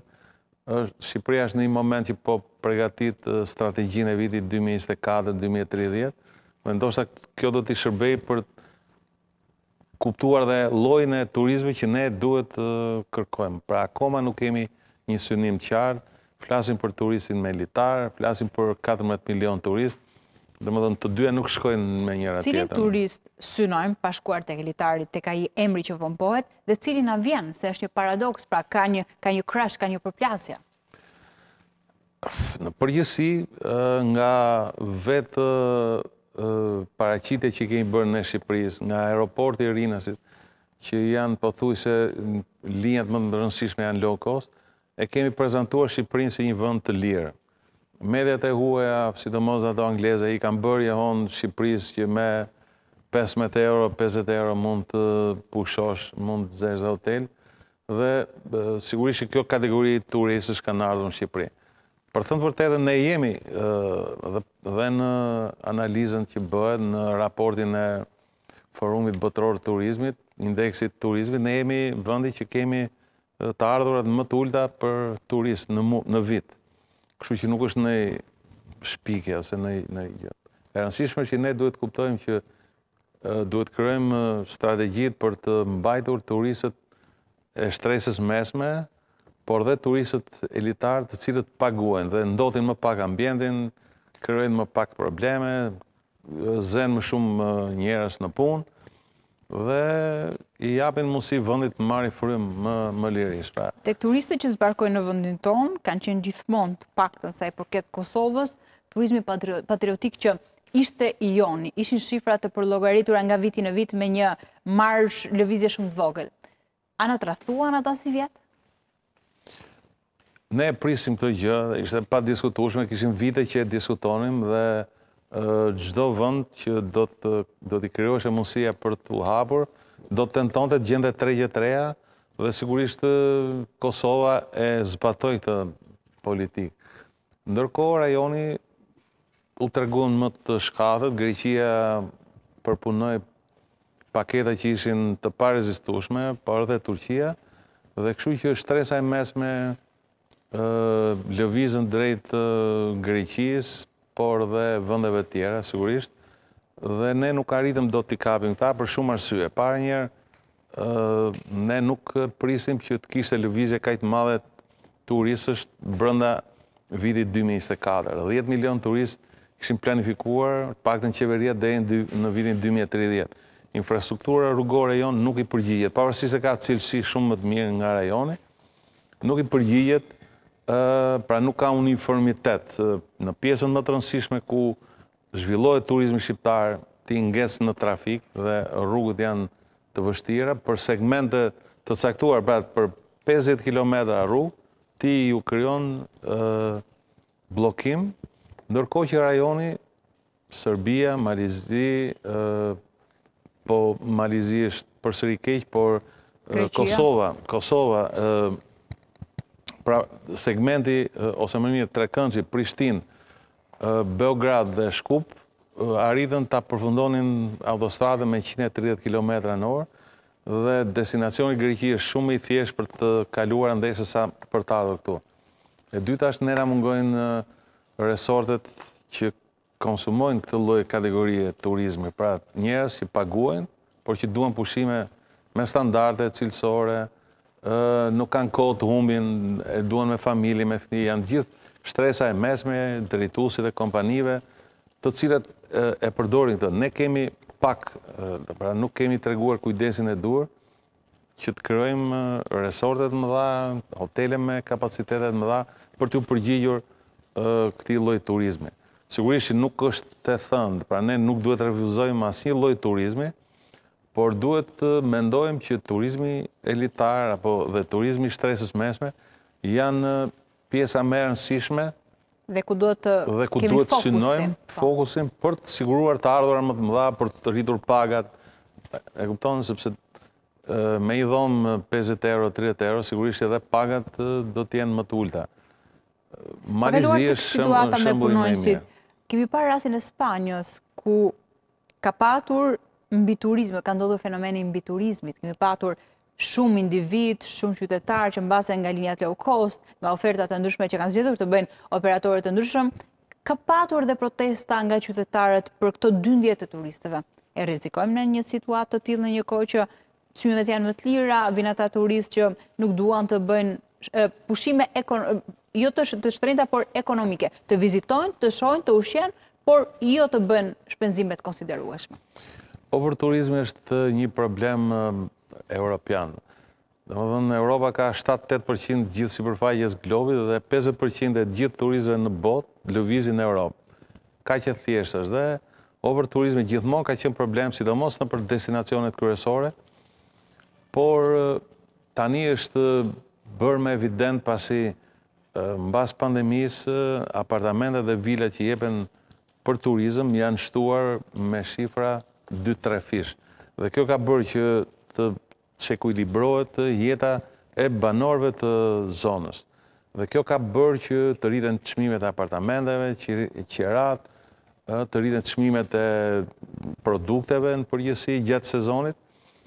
Por mos harrojmë që turizmi është një nga të ardhurat kryesore të Europës, domethënë nuk është një industri e parëndësishme dhe po ekuilibrohet në mënyrë të tillë që ekspertët thonë mos kalojë numrin 4 turistë për një banor, sepse Kjo pastaj krijon probleme, ka zhurma, ka, domthon nuk është vetëm çështje e rritjes së çmimeve, po krijohen dhe disbalancim midis njerëzve të zakonshëm që bëjnë një jetë normale dhe duhet të çohen shpejt e të shkojnë në punë dhe turistëve të cilët rrinë pa gjumë, bëjnë zhurmë nëpër apartamente, janë të dhunshëm dhe probleme të tjera në përgjithësi. Por E rëndësishme është kjo domethënë që këtë mund ta rregullosh nëpërmjet ekuilibrimit të çmimeve dhe po marrim Barcelonën meqenëse është problemi sivjet pati probleme nga rritja e çmimeve gati 30%. Çmimi mesatar vajti deri ke njëqind e tetëdhjetë, njëqind e nëntëdhjetë euro, nga njëqind e pesëdhjetë që ishte para disa vitesh, dhe kjo krijoi problem. Hotelet u zunë me masën tetëdhjetë e pesë për qind, pra një rënie gati pesë për qind në krahasuar me një vit më parë apo disa vjet më parë dhe Sigurisht kjo do ndikojë pastaj ke punësimi, ke të ardhurat që do do marrin, qoftë edhe bashkitë për t'i kthyer në shërbime. Kështu që është një ekuilibër që do kujdes dhe prandaj bëhen strategjitë për t'u përgjigjur. Jemi ne larg strategjive të mirëmenduara sa i përket akomodimit, strukturave hoteliere, pjesës punonjësit, pjesës menaxhimit, pra pjesës pastrimit, pjesës të pastrimit të hapësirave të përbashkëta, apo edhe plazheve publike e private? Shiko ne nuk kemi vujt ndonjëherë për strategji. Strategjitë i kemi bërë shumë të mira. Po si implementohen? Problemi është ke zbatimi. Pra ne që nga 92-shi, 93-shi, strategjitë pothuajse i ka financuar Gjermania, shteti gjerman, Edhe kjo që po bëhet është një strategji me ekspertët më të mirë. Puna është që ne duhet të zbatojmë ato të cilat strategjia përcakton dhe na vjen mirë që grupi i ekspertëve është nga më të mirë që ka bërë strategjinë e Malit Zi, Kroacisë, që tani po kthehen lider. Nuk e di sa do arrijmë ne t'i zbatojmë, Mendoj se strategjia duhet të jetë jo 7 vjeçare, 6 vjeçare, sepse sigurisht që duhet parashikuar më gjatë, vetëm të fillosh një turizëm elitar, për shembull, do 6-7 vjet që ti të pregatitesh, sepse turizmi elitar nuk ka lidhje me një hotel luksi, se e ngatërrojnë njerëzit, ka të bëjë me destinacionin elitar. Pra pa krijuar një destinacion që të ketë, po themi, eksperienca unike, restorante unik, me marka të njohura, porte jahtesh, mbasi ngrihet kjo infrastruktura po atëherë. Po bëhen, po janë menduar si strategji, por sa vërtet do jenë të aksesueshme dhe do ta thithin vërtet turistin elitar që zbarkojë në brigjet tona në një kohë që me atë lloj pagese, me atë lloj, mbase shërbimi, po që ha diskutim tjetër, Mund të vizitojë ishujt e Greqisë, megjithëse i kemi afër, jugun e Italisë. Ne nuk na mengo, ne nuk na mungojnë resurset për të krijuar zona të tilla. Problemi tek ne është sa konsekuent jemi ne për ta kthyer destinacionin që flasim ë, në këtë në këtë dimension. Pra ti mund të zbresësh nga aeroporti i Rinasit, po për të shkuar ke Melia Group për shembull, mund të duhesh dhe 2 orë ose 3 orë. Një turist elitar nuk mund të pranojë që të rri 3 orë nëpër trafik. Po marr shembull të thjeshtë, ëh. Pale që ai duhet të vijë me linja direkte, duhet të ketë një port jahtesh, të të marrë, të ankorojë jahtin, të shfrytëzojë pastaj po themi produktet e tjera turistike që ka rajoni, mirë është që ne të fillojmë dhe ta vëmë si një kërkesë të rëndësishme bërjen e turizmit elitar. Kjo është fokus i qeverisë shqiptare, por do të shohim se në cilën periudhë afat gjatë mund të realizohet vërtet, pra përpos investimeve që janë bërë, po bëhen dhe do bëhen. Por për ta thithë dhe për të krijuar këtë lloj strategjie, besoj do të jetë, do të hasë disa vështirësi. Sigurisht që ka vështirësi. E rëndësishme që ne duhet të fillojmë dhe nuk duhet t'i zëmë vendet e rëndësishme ose më mirë resurset e rëndësishme me vila dhe apartamente për për imobiliare për t'i banuar duhet urgjentisht ta bllokojmë këtë lloj zhvillimi dhe ta kthejmë turizmin e jugut për shembull në një zonë elitare duhet ndajmë zonat e rekreativitetit pra ti nuk mund të kesh një Green Coast po themi me vila elitare dhe të kesh muzikë që të dëgjohet deri në Llogara domethënë nuk shkojnë nuk nuk bashkohen pra bashkë po. duhet ndarë dhe gjithë bota e ndan do të shkosh për Disko shko në Ibiza, rri gjithë natën pa gjumë, çohu nesër mjes, po deshe mos mos u la fare. Domethënë duhet të ndahen këto zona dhe sa më mirë të bëhen këto, të cilat nuk janë çështje bashkish, këto janë politika shtetërore, të cilat do thuash këtë zonë do ta kthej në Sarandën, do ta kthej ose Ksamilin do ta kthej në zonë për rininë për gjeneratën Z. Atëherë gjithë infrastruktura Po, vendoset në funksion të asaj filozofie. Këto, nuk mund të shkosh me fëmijë të vegjël, ë, ndërkohë që aty gjithë natën buçet muzika. Domethënë janë janë ca gjëra që duhen të përcaktuar që në strategji.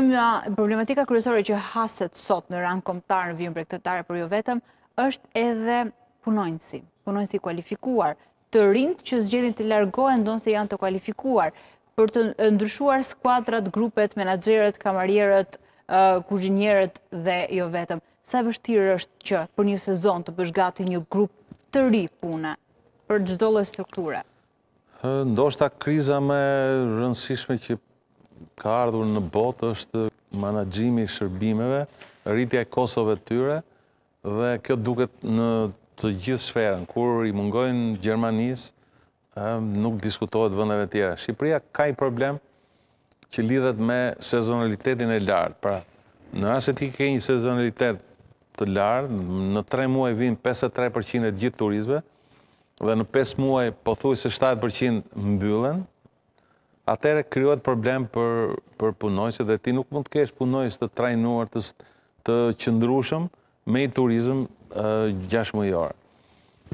Ka metoda, ka mënyra, ne i kemi propozuar qeverisë që po themi Greqia përdor metodën që 4 muaj i subvencionon shteti punonjësit e turizmit, mbasi ka bërë një kontratë me një subjekt i cili 8 muaj i paguan ai. Dhe kjo krijon mundësinë që ti Të kesh punonjës definitiv, gjatë katër muajve ata mund të bëjnë pushime, të bëjnë trajnime, mund të largohen dhe nga vendi, pra është një person i cili punon intensivisht 8 muaj dhe paguhet gjithë vitin. Dhe kjo është gjë pozitive. Ka dhe metoda tjera, Maqedonia i ble turistët në jashtë sezonit, Pra që të krijojë mundësi të ketë shërbime pra një turist të mbajë çdo gjë të karikuar. Një turist fut në punë 7 veta, dhe ai thotë më mirë paguaj një turist dhe 7 veta i heq nga skema e subvencionimit të pagave dhe vendet tjera pak a shumë bëjnë të njëjtën gjë, kanë krijuar zonat mix use, po themi Mali Zi, ku gjithë resorti, personi stimuluar që ka ndërtuar këtë zonë, është i detyruar të mbajë 12 muaj në punë, të hapur gjithë subjektin, ajo gjallëron gjithë zonën, sepse do kesh punonjës të cilët do punojnë gjatë gjithë kohës, dhe turistët që paguajnë, nuk janë ata që shijojnë detin në mënyrë detyruese. Ata domethënë shfrytëzojnë aktivitetet e tjera dhe gjatë gjithë vitit ata e mbajnë të hapur, po themi, këtë destinacion. Pra ka lloj-lloj mënyrash. Sa shpenzoi, si pyetje e fundit, zoti Topuzi, sa shpenzoi një turist që ka zbarkuar në vendin tonë, në jug, në Tiranë, në atraksione të ndryshme turistike, në qytetet Që janë në mbrojtjen e UNESCO-s. Mesatarja tek ne është katërqind e njëzet euro apo dollarë, euro në vit. Ndërkohë që mesatarja europiane është një mijë e gjashtëdhjetë euro, shqiptarët shpenzojnë një mijë e tridhjetë euro, pra janë gati shqiptarët që dalin jashtë, shpenzojnë gati me mesataren europiane. Shpenzojnë më shumë se italianët, më shumë tre herë më shumë se grekët dhe janë kontingjent i mirë, pra sa më shumë Krijojmë në resorte që t'i mbajmë këta shqiptarët mos, jo se nuk do ikin, ë, t'i shfrytëzojmë, por është e rëndësishme të kuptojmë turizmi elitar, mesataren në Europë e ka dyzet e pesë deri në pesëdhjetë mijë dollarë apo euro në vit. Dhe ky është turisti me me që shpenzon. Turistët minimal elitarë janë nga tridhjetë e pesë deri në dyzet e pesë. Turistët rusë shpenzojnë nga njëqind e njëzet deri në njëqind e pesëdhjetë mijë euro, pra i kalojnë ata të Arabisë, vendet arabe. Kështu që zgjedhja e politikave, bërja e strategjive për këtë lloj turizmi është shumë i rëndësishëm në këtë moment. Po një turist ekonomik që vjen në vendin tonë? Pra, kur mesatarja në Shqipëri shkon 400 euro, minimumi shkon 200-250 euro. Jemi shumë larg atyre pritshmërive të paktën që e pompojmë dhe i mendojmë. Jemi larg dhe duhet detyrimisht të rritim standardet dhe një kërkesë është dhe ne duhet të certifikojmë dhe klasifikojmë dhe hotelet me yje, pra gjithë industrinë, Pasi jemi akoma vendi i fundit që jemi pa certifikim yjesh. Pse nuk ka ndodhur deri tani? E ka vonuar qeveria me teoritë që do ta bëjë vetë, po mund ta bëjnë dhe grupe ekspertësh të huaj. Është e rëndësishme kjo punë sepse Ballkani është një markë dhe shitet një brand. Pra, nuk është puna se Shqipëria shitet vetëm si destinacion vete, po shitet dhe si destinacion Pra, ti mund të vizitosh Malin e Zi, Shqipërinë, Greqinë, të bësh ture të përbashkëta dhe vetëm ne nuk kemi... Për ata që donë, po. Që donë, sepse ato shiten me paketa. Pra një turist do një paketë me hotele me tre yje, njëri me katër yje, ka që kërkojnë me pesë, dhe ne jemi akoma të pacertifikuar. Dhe kjo është e rëndësishme. Pra, tendenca që pretendon kryeministri për t'u bërë lider, pa u certifikuar me yje hotelet, nuk ka logikë. Jo vetëm hotelet. Pritshmëritë dhe realiteti janë larg. Ka punë për për Shqipërinë akoma. Falenderoj shumë. Faleminderit dhe ju. Ndërkohë ne do të shkëputemi për pak momente në reklama.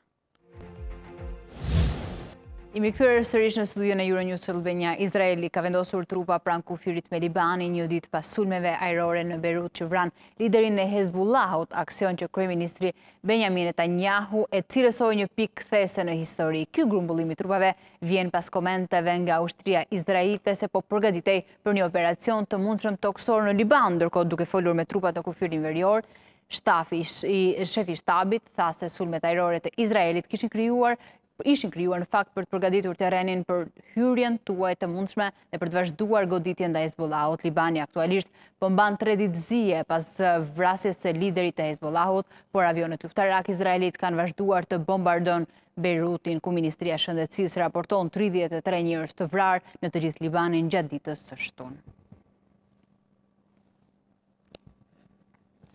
Ledion Krisafi, njohës i çështjeve ndërkombëtare, na bashkohet në studio për të bërë një analizë se çfarë po ndodh po në Lindjen e Mesme dhe jo vetëm. Faleminderit që na bashkoheni. Kënaqësi.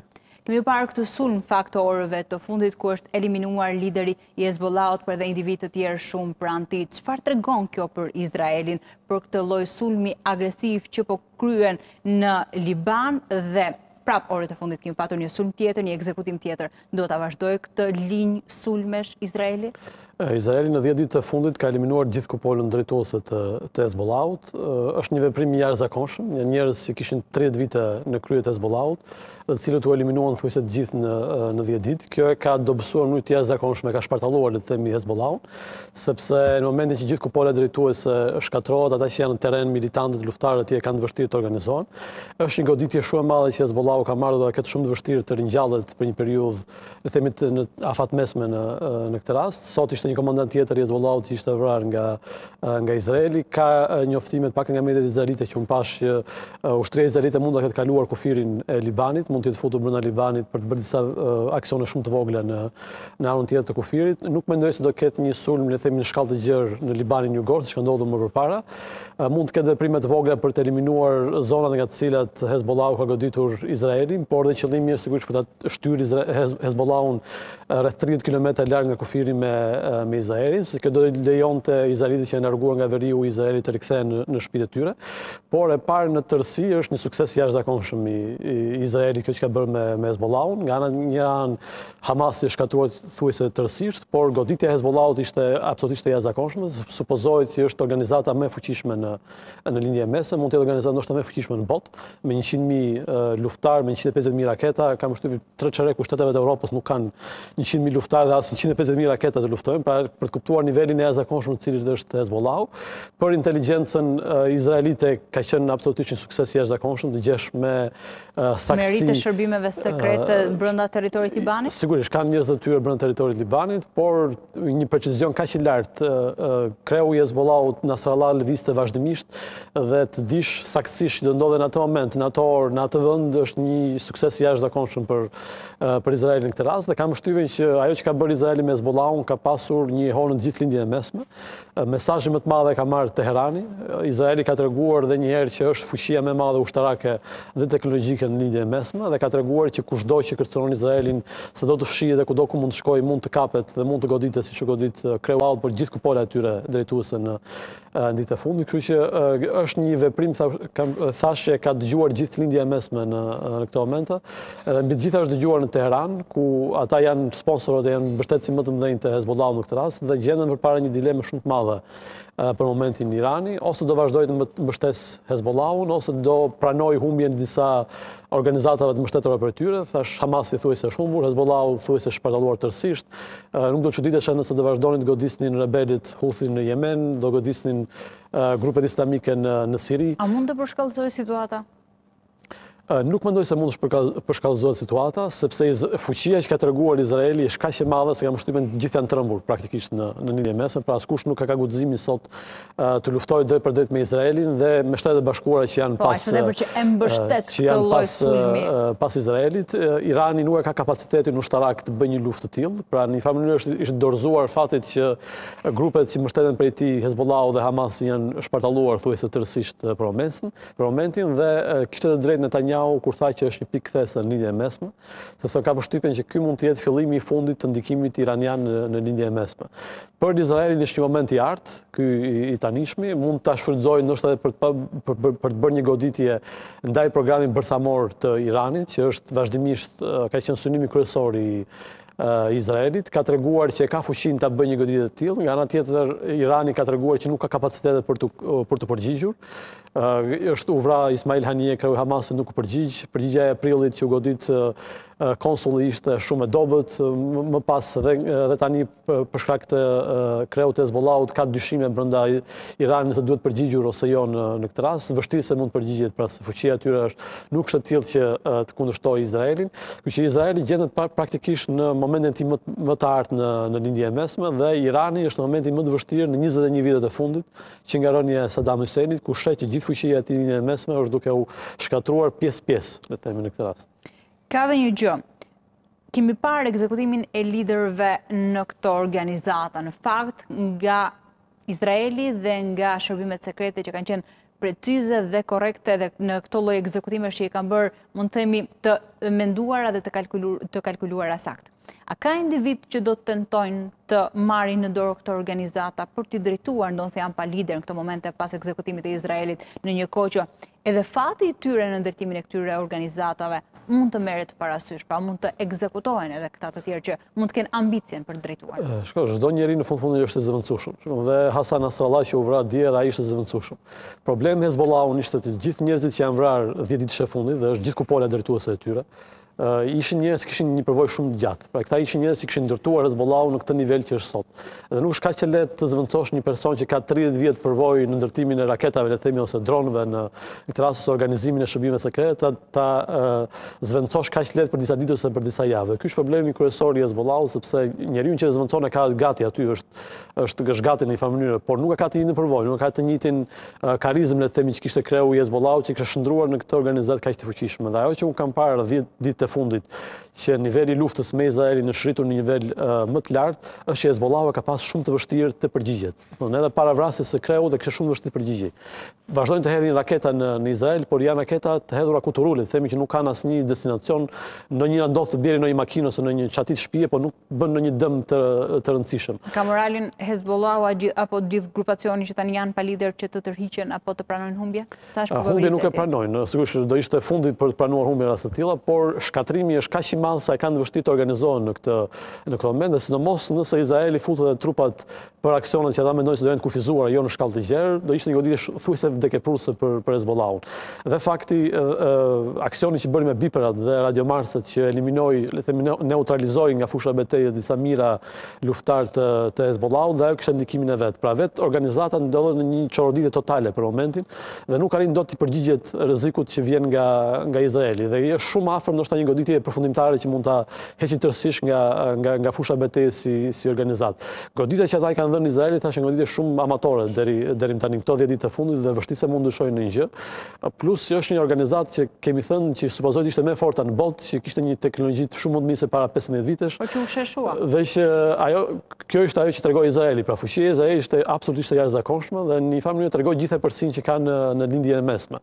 Izraeli ka pasur epërsinë ushtarake le të themi për gjysmë shekulli në Lindjen e Mesme, u shkërmoq, deri diku u vu në dyshim ajo epërsi me shtatë tetorin me atë fjetje që bëri gjithë shteti i Izraelit dhe shërbimet sekrete, sot kanë rivendosur supremacinë e tyre në, në Lindjen e Mesme dhe kam përshtypjen që gjithë ata që janë kundërshtarë të Izraelit në këtë moment janë, janë të trembur. Pra mundohen t'i fshihen, le të themi, shënjestrës që vjen nga Izraeli. Gjëja e parë që bëri ajatollahu i Iranit pas vrasjes së Nasrallahut ishte të vendosej në një zonë të, të sigur për ta mbrojtur. Kjo do të thotë që çdo pikë le të themi Lindjes së Mesme është e kapshme nga nga Izraeli. Për Hezbollahun thashë e shoh shumë të vështirë të ringjallen në një periudhë afatshkurtër. Fakti që Izraeli vazhdon po i godet, po vret komandantët, çdo person që do jetë në krye do vazhdojë të jetë në shënjestër, pa diskutim. Mesazhi është është i marrë. Kushdo kapet, kushdo që mund të jetë sado i fshehur të jetë mund të kapet dhe Goditjet do vazhdojnë, për Hezbollahun thashë do jetë shumë e vështirë të ringjallet në këtë moment dhe është shumë afër ndoshta goditjes përfundimtare të zhduket si si organizatë ose si kërcënim në Lindjen e Mesme. Kemi edhe presidentin aktual në detyrë Joe Biden në Shtetet e Bashkuara të Amerikës që e sheh si të drejtë këtë lloj sulmi për ekzekutimin e kupolës së Hezbollahut. A mendon se më vonë, pse, si fillim, pse vjen kjo deklaratë nga ana e Biden dhe me ardhjen e zgjedhjeve dhe me kreun e ri të Shtëpisë së Bardhë, mund të ndryshojë politika ndaj këtyre vendeve apo këtij konflikti? Biden e quajti të drejtë sepse Hezbollahu është një organizatë terroriste. Është një organizatë që në vitin tetëdhjetë e tre, në mos gaboj, kur ka qenë Ronald Reagan, president i Amerikës, kanë hedhur në erë një anije amerikane në portin e Beirutit, ku kanë vrarë mbi 200 marinsa amerikanë. Dhe është një gjë sigurisht që amerikanët nuk e harrojnë diçka të tillë, dhe goditjet që ka bërë në objektiva amerikane që nga vitet tetëdhjetë. Pra në këndvështrimin e amerikanëve ishte një organizatë terroriste, dhe personi ishte kreu i një organizate terroriste, vrasja e të cilit sigurisht që i shërben sigurisë së Izraelit, por po i shërben dhe sigurisë Shteteve të Bashkuara. Kështu në këndvështrim, në këtë këndvështrim Biden është ka të drejtë në atë që ka thënë. Tërthorazi po e përdor Izraelin? Jo, nuk se përdor Izraelin Amerika. Izraeli ka objektivat e veta në këtë rast. Nuk, nuk ishte qëllim për ta përdorur amerikanët që t'i shërbenin në këtë rast. Janë interesat e Izraelit, objektivat e Izraelit në, në këtë rast. Për zgjedhjet në Amerikë, kam përshtypjen që nëse vjen Donald Trump, mund të kemi një mbështetje shumë më të madhe ndaj Izraelit. Mbështetja e tanishme është është absolutisht e jashtëzakonshme, por ajo që mund të ndryshojë është fakti që Donald Trump mund të ketë mund të risjellë në tavolinë idenë për të goditur programin bërthamor të Iranit. E ka paraqitur si ide gjatë katërvjeçarit kur ka qenë president, këshilltarët e tij e kanë detyruar t'i largohet si ide sepse mendonin se ishte një veprim i pamundur ose shumë i vështirë ose do të çonte në një luftë shumë të madhe në Lindjen e Mesme. Ajo që kemi parë sot është që Irani është shumë më i dobët se sa duket në në letër dhe nëse Donald Trump kthehet në në pushtet, veçanisht nëse Benjamin Netanyahu do vazhdojë të jetë kryeministër, mund të tundohen nga ideja për të goditur dhe... Gjasat janë të mëdha që ai të jetë sërish. Sigurisht, Të dyja gjasat janë... Edhe pse ka opozitën brenda që nuk e pëlqen, ka kryengritje, çështjen e pengjeve... Netanjahu është në kuptimin e mirë të fjalës është një kafshë politike e jashtëzakonshme. I ka mbijetuar çfarëdolloj gjëje dhe jam i sigurt që sidomos me shkatërrimin e Hezbollahut ka marrë shumë pikë brenda Izraelit. Pra është njeriu kryesor, favoriti kryesor për të qenë kryeministër i Izraelit dhe pasi të bëhen zgjedhjet në fund të kësaj... I rikonfirmon dhe një mandat tjetër. I rikonfirmon sigurisht qeveria e tij që është përgjithësisht goxha ekstremiste në fakt. Por vetë mund të dalë në fund të luftës para elektoratit izraelit dhe thotë që Netanyahu ishte personi që shkatërroi dy rreziqet që kishte Izraeli, Hamasin dhe dhe Hezbollahun nga ana tjetër. Por nëse fiton dhe Donald Trump thashë do jetë tundim shumë i madh përballë një Irani kaq të dobët për të goditur programin bërthamor iranian. Nëse do jetë Kamala Harris fituese, nuk besoj të ndryshojë ndonjë gjë. Është e vështirë ta çosh. E njëjta politikë si me Biden. E njëjta politikë mbështetje totale ndaj ndaj Izraelit, por nuk mendoj se do shkojnë në atë pikën që të godasin Iranin dhe programin e tyre bërthamor. Thashë për Izraelin është një moment i artë dhe mund ta shfrytëzojnë pra për të bindur amerikanët për të goditur Iranin, është momenti më i vështirë për Iranin dhe është momenti ku mund ta godasin programin bërthamor dhe ta eliminojnë si rrezik për për Izraelin, por amerikanët deri më sot kanë qenë të kujdesshëm për të mos u futur në një luftë drejtpërdrejt me Nuk ju leverdis, nuk i leverdis SHBA-s në moment që jemi shumë pranë zgjedhjeve? Sigurisht, lufta të tilla ndikojnë, heqin ushtarët, heqin ndihma ushtarake, janë para që hidhen në raste të tilla. Amerikanët kanë përvojën e luftave në Irak dhe në Afganistan, kostot e të cilave shkojnë në triliona dollarë, janë miliarda dollarë që shkojnë për ndihmë për Ukrainën, pra do ishte tepër në këndvështrimin e votuesit amerikan. Sepse shteti amerikan ose le themi Pentagoni mund të kenë interes për të hequr një rrezik siç është programi bërthamor iranian, që është një rrezik për Shtetet e Bashkuara. Por për le të themi amerikanin normal që voton dhe që nuk e di çfarë është programi bërthamor iranian, këto janë para që ikin nga xhepat e tij si të thuash dhe shkojnë për të luftuar Iranin. Pra kjo është një një situatë që nuk ndodh para para zgjedhjeve dhe nuk nuk ka ndodhur kurrë para zgjedhjeve në në raste të tilla, por pas zgjedhjeve, sidomos nëse fiton Donald Trump, do jetë një tundim shumë i madh për Izraelin e për amerikanët, për të, thua, për të hequr dhe kërcënimin iranian një herë përgjithmonë nga Lindja e Mesme. Meqenëse termi i fundit apo individi i fundit që përmende në bisedë ishte Trump, kalojmë paksa tek situata Rusi-Ukrainë, ku Trump, me sa duket, ka shënjestruar dhe ka sulmuar Volodymyr Zelenskin me me togfjalën apo me, me togfjalëshin që ai gjithmonë kur vjen në SHBA del i fituar, pra merr një vlerë monetare të konsiderueshme dhe kthehet në Ukrainë. Pse këtë lloj sulmi ndaj Zelenskit? Thelbi e asaj që thotë Trump është në idenë që paratë që merr Ukraina mund të shkonin për amerikanët. Pra, kjo është mhm. këndvështrimi i le themi votuesit normal amerikan, thashë nuk di ça bëhet fiks në Ukrainë, mendon që paratë që mund të investoheshin në rrugë. Teori populiste e një biznesmeni që bën politikë? është populiste sepse kjo nuk është e vërtetë. Shumica e parave që shkojnë në Ukrainë, në fakt nuk shkojnë në Ukrainë, shkojnë për fabrikat amerikane që prodhojnë armatime. Shumica e tyre shkojnë për fabrikat. Madje ka pasur një investigim shumë të gjatë te Washington Post, që tregonte me detaje pikërisht se si shumica e parave, asaj 60 miliardëshes së famshme që ishte për Ukrainën, shkonte për fabrikat amerikane që prodhojnë armatime për, për Ukrainën. Pra nuk është e vërtetë që ikin nga xhepat e amerikanëve dhe shkojnë në Ukrainë. Por kthehen në Ukrainë dhe kthehen në Amerikë dhe ndihmojnë në vende pune në ekonominë amerikane. Por amerikani, le themi i mesëm që voton, nuk e di këtë gjë. Dhe nuk ka pse të hyj kaq thellë si ku shkojnë parat në Ukrainë apo shkojnë në Amerikë. Dhe Donald Trump këtë gjë shfrytëzon për populizëm, për të treguar që parat tona po shkojnë në Ukrainë, në një vend që e cila e ka të pamund ta fitojë luftën, kështu që parat tona po shpenzohen kot në fund të fundit. Dhe sigurisht kjo është një ide që ka jehon me thash me amerikanin normal që shkon të votojë në datën 5 nëntor ka ka goxha jehon dhe e kupton diçka të tillë. Zelenski nga Washingtoni është kthyer goxha i themi i pakënaqur, plani që kishte për fitoren nuk duket se ka ka kaluar ose është pranuar nga nga administrata amerikane, sepse të paktën për administratën amerikane duket se është jo realist në si plan. Cilat janë kërkesat e fundit të Zelenskit për tavolinën apo tryezën e diskutimeve që mund të kenë një lloj dakordësie. Detajet e planit nuk kanë qenë të njohura, por ideja ka qenë e tillë që ai donte një mbështetje shumë më të madhe ushtarake, pra donte shumë më shumë armatime sesa kaq, dhe donte e dyta që është thelbi i gjithë, donte lejen për të goditur me raketa me rreze të gjatë brenda Rusisë, që është një leje që duket se amerikanët nuk e japin për disa arsye, e para sepse mendojnë Nëse u aludua se mund të ketë një dritë jeshile. Është e vështirë të ketë një dritë jeshile për këtë pikë, sepse vetë amerikanët thonë që nuk ka për të ndryshuar ndonjë gjë në frontin e betejës, sepse lufta vendoset aty në në Ukrainë, në fushat e Ukrainës, pra nuk mund të godas sa duash brenda Rusisë, por nuk ndryshon ndonjë gjë në, në terren. Dhe e dyta që amerikanët i frikësohen një përgjigje shumë të fortë nga ana e Rusisë. Wall Street Journal kishte një shkrim para disa ditësh ku thoshte që nëse lejohet Ukraina të godasë me raketa me rreze të gjatë brenda Rusisë, kryeqytetet europiane, Parisi, Varshava, Londra mund të jenë objektiva ruse menjëherë pas kësaj goditje dhe lufta mund të dalë tërësisht nga kontrolli dhe të jemi në një luftë drejtpërdrejt mes Rusisë dhe NATO-s. Putin dhe Lavrov e kanë bërë të qartë që Kjo mund të jetë vija e vërtetë e kuqe që ka Rusia. Pra në momentin fillon godet Moskën, Shën Petërsburgun, reagimi do të jetë i, i menjëhershëm nga ana e Rusisë dhe unë kam përshtypjen që Evropa, sidomos Evropa e ka të vështirë ta përballojë një luftë të tillë për momentin. Kemi parë shpesh herë raketa ruse që kanë kaluar mbi qiellin e Polonisë dhe polakët Vetëm pasi ka kaluar e kanë kuptuar që ka kaluar raketa, pra nuk janë të përgatitur për një luftë të tillë me me Rusinë për momentin. Dhe kjo është arsye, këto janë arsyet pse amerikanët po i thonë jo për momentin Ukrainës ndaj goditjeve me raketa me rreze të gjatë brenda brenda Rusisë. Dhe Zelensky nga mënyra se u kthye në Ukrainë dukej që ishte i pakënaqur, nuk kishte marrë atë që dëshironte. Është një sinjal që nuk do të ketë më mbështetje nga ndërkombëtarët dhe nga vet, më themi aleati kryesor siç është SHBA-ja. Në vazhdimin e luftës. Mbështetjen do ketë, po aq sa është dhënë deri tani. Pra, pa kaluar vijat e kuqe në në rast të tilla, sepse ka pasur një lloj marrëveshje të themi në heshtje mes Rusisë dhe Amerikës, që lufta do ngelet aty, në ato kufi.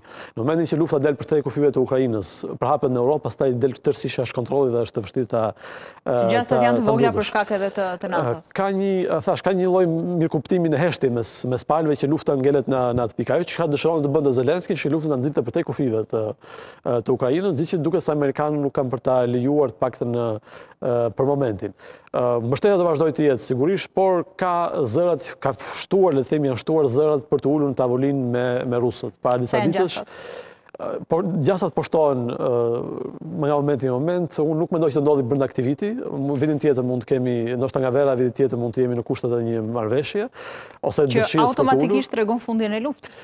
Sepse ka Edhe brenda Europës ka filluar të ketë zëra për faktin që Ukraina e ka të pamundur të rimarrë territoret që ka humbur.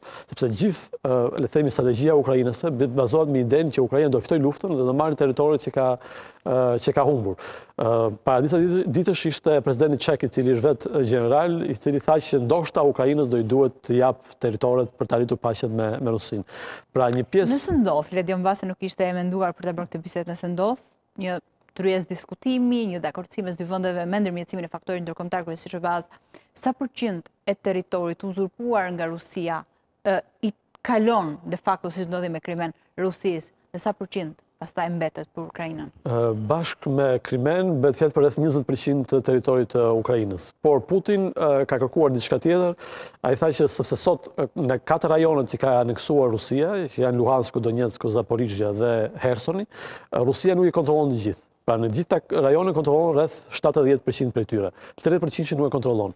Dhe Putin tha nëse arrihet marrëveshje me Ukrainën, duhet që ushtria ukrainase të lirojë dhe 30 përqindëshin tjetër që nuk e ka në kontroll Rusia. Pra mund të kërkojë shumë shumë se se kaq.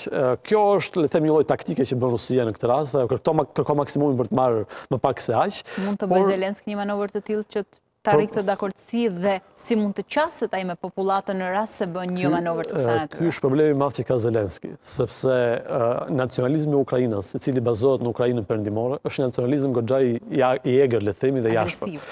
Është një nacionalizëm anti moskovit dhe anti rus. Dhe që e kanë thuajse të pamundur të pranojnë faktin që mund të japin 20% të territorit, t'ia japin Rusisë për të arritur një marrëveshje e paqe. Dhe vetë Zelenski jo vetëm që luan, le të themi, postin e tij si president, por në fund mund të luajë edhe jetën e tij, sepse mund të ketë një lloj kryengritje ose rebelim brenda Ukrainës për të arritur një marrëveshje të tillë. Por kjo, le të themi, kjo situatë mund të shmanget nëse Shtetet e Bashkuara dhe vendet e tjera europiane i vendosin Ukrainës kushte dhe i thonë që marrja e territoreve është e pamundur, kështu që e vetmja zgjidhje është të arrish një marrëveshje me Rusinë, ku territoret e pushtuara ngelen pjesë e Rusisë. Kyçi i marrëveshjes tjetër është jo vetëm territoret, por dhe fakti që Ukraina nuk do jetë pjesë e NATO-s. Pra, kjo me siguri do jetë pjesë e marrëveshjes sepse Rusia nuk e pranon një një gjë të tillë në asnjë mënyrë. Dhe kjo është e vështirë për t'ia shitur popullit të Ukrainës pasi dy vite e gjysmë luftë i ke thënë që ne do jemi pjesë e NATO-s dhe Ukraina mund të ndodhë të tërhiqet si kreu i shtetit zoti Zelenski në një kohë që situata është në në këtë fazë? Në këtë fazë... Se kujtojmë që nuk ka zgjedhje në kohë lufte, sipas kushtetutës së Ukrainës. Ai ka një ide që mund të bëjë zgjedhje vitin tjetër, në 2025, sepse i duhet zgjedhje. është e pamundur që kemi dezertime, kemi viktima, kemi individ që kanë shkuar të jetojnë jashtë për shkak të luftës. Nga kjo pikëpamje sigurisht që është e pamundur të bëhet, sepse është tash një shtet që e filloi luftën me 40 milion dhe sot ngelën 25. I bie që 15 milion të tjerë duhet të votojnë ata në një mënyrë ose një tjetër, gjë që nuk ka për të ndodhur. Por Zelenski rrezikon nëse arrin pikërisht këtë lloj marrëveshje me me Rusinë. Dy janë pikat, dhënia e territorit Rusisë dhe mospranimi i Ukrainës në në NATO.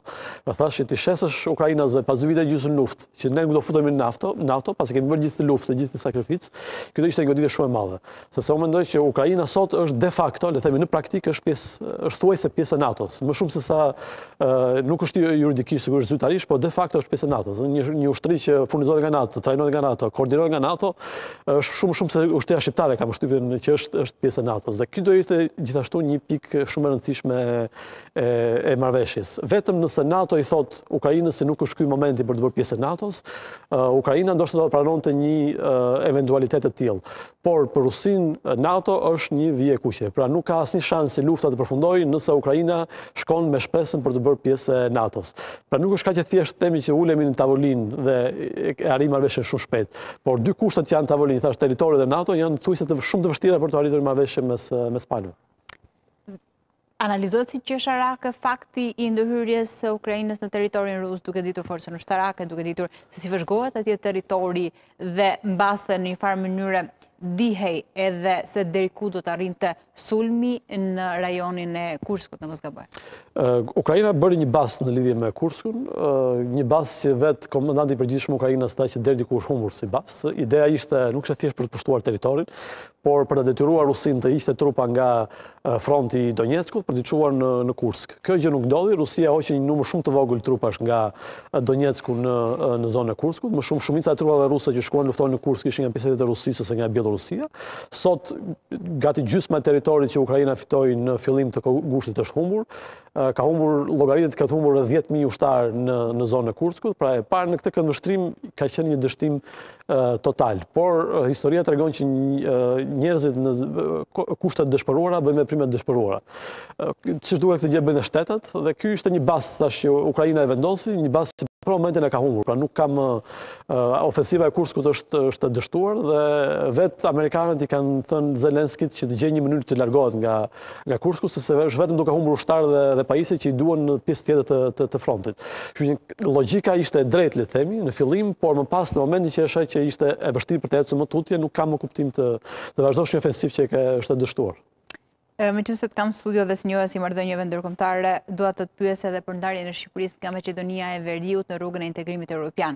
A e vendos kjo tashmë me shpatulla pas murit Shqipërinë për të plotësuar të gjitha pikat e kërkuara nga Bashkimi Europian për çeljen e negociatave për të plotësuar të gjitha dhe më vonë për anëtarësimin në Union, ku rikujtojmë se herë pas here ka patur, le të themi, justifikime se po na pengon dhe Maqedonia e Veriut për shkak të konflikteve që ka. Shko, ndarja me Maqedoninë ishte shumë e vonuar, duhet të kishte ndodhur më përpara. Dy vendet janë në rrugë të ndryshme le të themi në integrimin europian. Maqedonia ka probleme që Shqipëria nuk i ka nuk ka këto probleme. Ishte momenti, le të themi, i duhur për të ndodhur kjo gjë. Është e vërtetë që tashmë Shqipëria është është vetëm, e ka integrimin tërësisht në dorën e vet. Nuk ka më asnjë lloj justifikimi fare për integrimin. Ka një ide, një plan në Bashkimin Europian që një prej, të paktën një prej 6 vendeve të Ballkanit Perëndimor mund të bëhet pjesë e BE-së në vitin 2030, pra rreth 6 vite e këtej. Besoj që qeveria shqiptare dhe zoti Rama mendojnë që Shqipëria mund të jetë vendi që mund të jetë pjesë e bashkë. Po secili vend, apo secili lider besoj pretendon për vendin e tij? Aleksandr Vuçiç nuk e mendoj që as e dëshiron, as e mendon këtë gjë. se edhe në qoftë se shohim gjashtë vendet e Ballkanit Perëndimor, Shqipëria është i vetmi vend le të themi që nuk ka asnjë problem as të brendshëm as të jashtëm. Nuk kemi as probleme ndëretnike as ndërfetare, nuk kemi ndonjë problem me fqinjët le të themi. Në këtë rast problemet me Greqinë janë aty, por nuk janë probleme kaq të rëndësishme, janë probleme historike, le të themi, nuk janë probleme siç ka Maqedonia e Veriut, le të themi Bosnja, Kosova etj.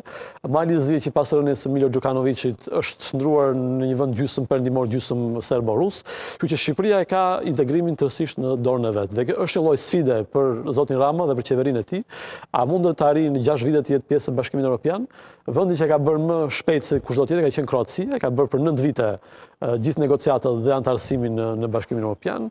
Zoti Rama kishte një ide për të përdorur inteligjencën artificiale në këtë rast. Detajet nuk i dimë, duhet të shohim rrugës, por duhet shfrytëzuar momenti. Pra duhet shfrytëzuar vullneti i Bashkimit Evropian për t'u zgjeruar në 2030-ën dhe fakti që thashë Shqipëria është e ka tërësisht në dorë integrimin nuk ka më asnjë problem rreth rrotull. Dhe në një farë mënyre është një mundësi e artë. Mbetet për qeverinë shqiptare nëse do e shfrytëzojë për 6 vite të jetë pjesë e Bashkimit Evropian. Falënderoj shumë. Kënaqësi. Ndërkohë ne do të shkëputemi për pak çaste në reklama. Jemi rikthyer bashkë në studion e Euronews Albania, ku tashmë do të shkojmë në Shtetet e Bashkuara të Amerikës me kolegun Denion Ndrenika që do të na bëjë një pasqyrë se çfarë po ndodh atje. Nga politika, sondazhet, exit pollet, se kë nxjerrin fitues, kemi patur orët e fundit edhe mund të themi uragani në SHBA që ka shkaktuar edhe viktima, një numër të konsiderueshëm viktimash, por edhe të bërit biznes në fushatë elektorale, vetëm 20 ditë para zgjedhjeve. Denion, përshëndetje, Tungjatjeta, Alba. Faleminderit që na bashkohesh. Çfarë tregojnë sondazhet dhe exit pollet në Shtetet e Bashkuara të Amerikës, ndonëse jemi praktikisht në fushatë zgjedhore, jemi pas debateve televizive të Trump dhe zonjës Harris dhe është vërtet kandidati potencial për ta rimarrë sërish Shtëpinë e Bardhë? Në ditët e fundit dhe duke iu referuar të paktën dy ditëve të fundit ka një lloj rënie të kandidates demokrate zëvendëspresidentes Kamala Harris, veçanërisht për votat e kolegjit zgjedhor.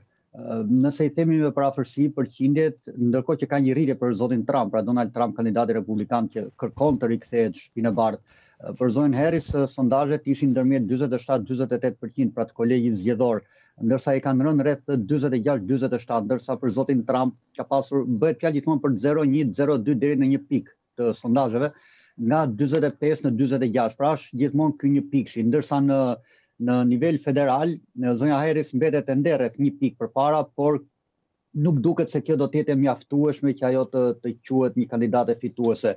Gara është e ngushtë, është ndër më të ngushtat që po diskutohet, madje që nga 1881-shi kur kur Garfield fitoi me rreth 880 vota, apo kur Al Gore humbi ndaj kandidatit George Bush me rreth 500 vota dhe u ndërpre numërimi, pra që bëhej fjalë për mandatin e George Bushit të ri, pra djalit të George Bushit të parë. Ndërsa në disa shtete kryesore, si në Georgia apo në Arizona, në Virginia, ka ka lëkundje, mirëpo zoti Trump ka ka rimarrë veten, gjithmonë bëhet fjalë për atë kufirin që thashë 0-1, 0-2 deri në një pikë. Pra është një një lloj rritje në dy ditët e fundit për kandidatin Donald Trump. Ndërkohë që ka një element tërheqës, pasi bëhet fjalë për kandidatin që do të mund të fitojë, a do të ketë në dorë që të ndryshojë, të riformojë, të riformatojë tërësisht gjykatën e lartë me një ose më shumë anëtarë, pra gjyqtarë. Problemi është që nëse zonja Harris fiton zgjedhjet, Ajo do ta ketë jashtëzakonisht të vështirë ta bëjë këtë gjithmonë nëse republikanët do ta fitojnë Senatin, pra që është një prirje. Ndërsa zoti Trump gjithmonë nëse ka republikanët në Senat, pra nëse fitojnë republikanët Senatin do ta ketë më të lehtë. Pra kjo është një një një veçori e këtyre 2-3 ditëve të fundit që po shpërfaqet. Pra a do të kemi mundësi që të bëhet pra të ketë një riformatim të gjykatës së lartë me më shumë se një, pra emrimet e një ose më shumë gjyqtarëve dhe sa e vështirë do të jetë për zonjën Harris kundrejt kandidatit Trump. Pra për zotin Trump si po e bëjnë fushatën, si po procedohet në fushatën e tyre, janë gjithmonë tek zonat e lëkundura tek elektorati gri apo po shkojnë për rikonfirmim edhe tek ato bastione që janë të tyre?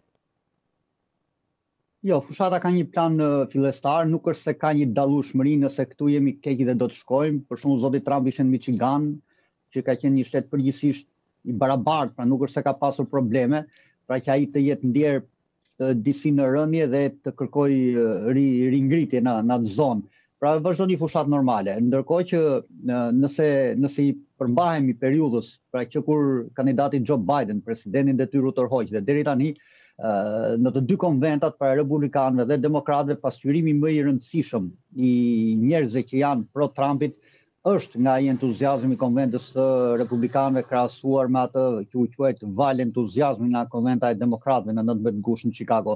Pra sidoqoftë ajo rënie e kandidatit Trump me sa duket ishte efekti i kësaj të quajture valë entuziazmi. Po fakti që tani për tani janë me një apo dy pikë dhe që përfshihet brenda marzhit të gabimit të sondazheve tregon që gara mbetet shumë e ngushtë dhe të paktën sipas politologëve të ndryshëm, pa thënë emra se mund të jenë disa, do të jetë e vështirë që që tani të kemi një përvijim se cili është më i mundshëm për ta fituar garën Shtëpinë e Bardhë. Pra do të pritet ende, pavarësisht nëse ka në një debat tjetër që tash për tash duket i pamundur, pavarësisht se palët natyrisht punojnë, por deri në 5 nëntor është vështirë që të ndodhë diçka për për të thënë që njëri apo tjetri është më afër fitores. Pra mbetemi gjithmonë në këta kufi. E qartë, kemi ndërkohë shumë viktima të shkaktuara nga uragani, shumë zona të prekura, shumë dëme materiale dhe me sa duket është kjo ripërsëritja e fatkeqësive natyrore. Denion, mund të bëjmë një bilanc të viktimave dhe dëmeve materiale të lutem? Deri tani janë rreth gjashtëdhjetë e dy, sipas raportimeve më të fundit, bëhet fjalë për orën e fundit, rreth gjashtëdhjetë e dy persona që kanë humbur jetën dhe janë prekur pesë shtete në jug, Florida, Xhorxhia, Karolina e Jugut, Karolina e Veriut dhe Virxhinia. Madje nëse i referohemi informacioneve do të përmend një shprehje të lexuar që në Karolinën e Veriut makinat i merrte uji sikur të ishin lodra, pra ky ka qenë një raportim nga nga kolegët, nga gazetarët. Ndërkaq janë rreth 2 milion njerëz me probleme të të forta të energjisë elektrike, bëhet fjalë për shkëputje ose ndërprerje të plotë, ndërkohë që ka pasur disa të paktën rreth 200 operacione kërkim shpëtimi dhe rreth 200 persona që ende kërkohen, por që padyshim nuk quhen tek viktimat. Ndërkaq vetëm në Karolinën e Veriut janë rreth 400 rrugë në një pjesë të perëndimit Karolinës së Veriut janë rreth 400 rrugë të bllokuara ku përfshihen autostradat, pra ndërshtetërore apo pra federalet ose ato të të të shtetit. Pra është një gjendje e tillë që uragani Helen në në Virginia u tha që jepte ndjesinë sikur po shpërthenin bomba, pra kjo ishte zhurma pra uturima që vinte nga nga ujërat e dhe nga era. Pra ishte, ishte goxha problematik. Mirëpo, nuk pritet që brenda kësaj jave të ketë një përmirësim të dukshëm, pra do të vazhdojë sidomos në rajonin e Apalashit, është një, një zonë edhe me, me, me male, një zonë malore, pra që pritet të, të vazhdojë edhe javën që vjen, pra duke nisur që nga e hëna. Denion, ka një specifikë në fakt uraganet në SHBA, ku autoritetet në bazë edhe të, mund të themi, direktivave që vijnë nga terreni edhe nga meteorologët dhe jo vetëm, japin informacione për qytetarët, kur ka rrezikshmëri, kur ka, mund të themi, ide që brenda pak ditësh mund të ketë uragane të mëdha, që mund të shkaktojnë për fat të keq edhe viktima. Ishin marrë masat paraprake më parë nga zonat e rrezikut që të kishte evakuime? Padyshim, evakuimet ka, janë, janë pjesë e planeve të shpëtimit të emergjencës.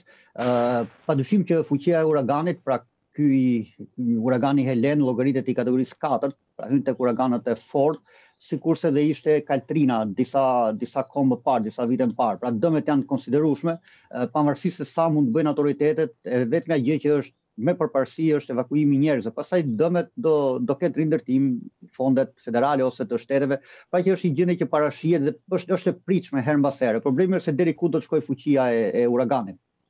E qartë.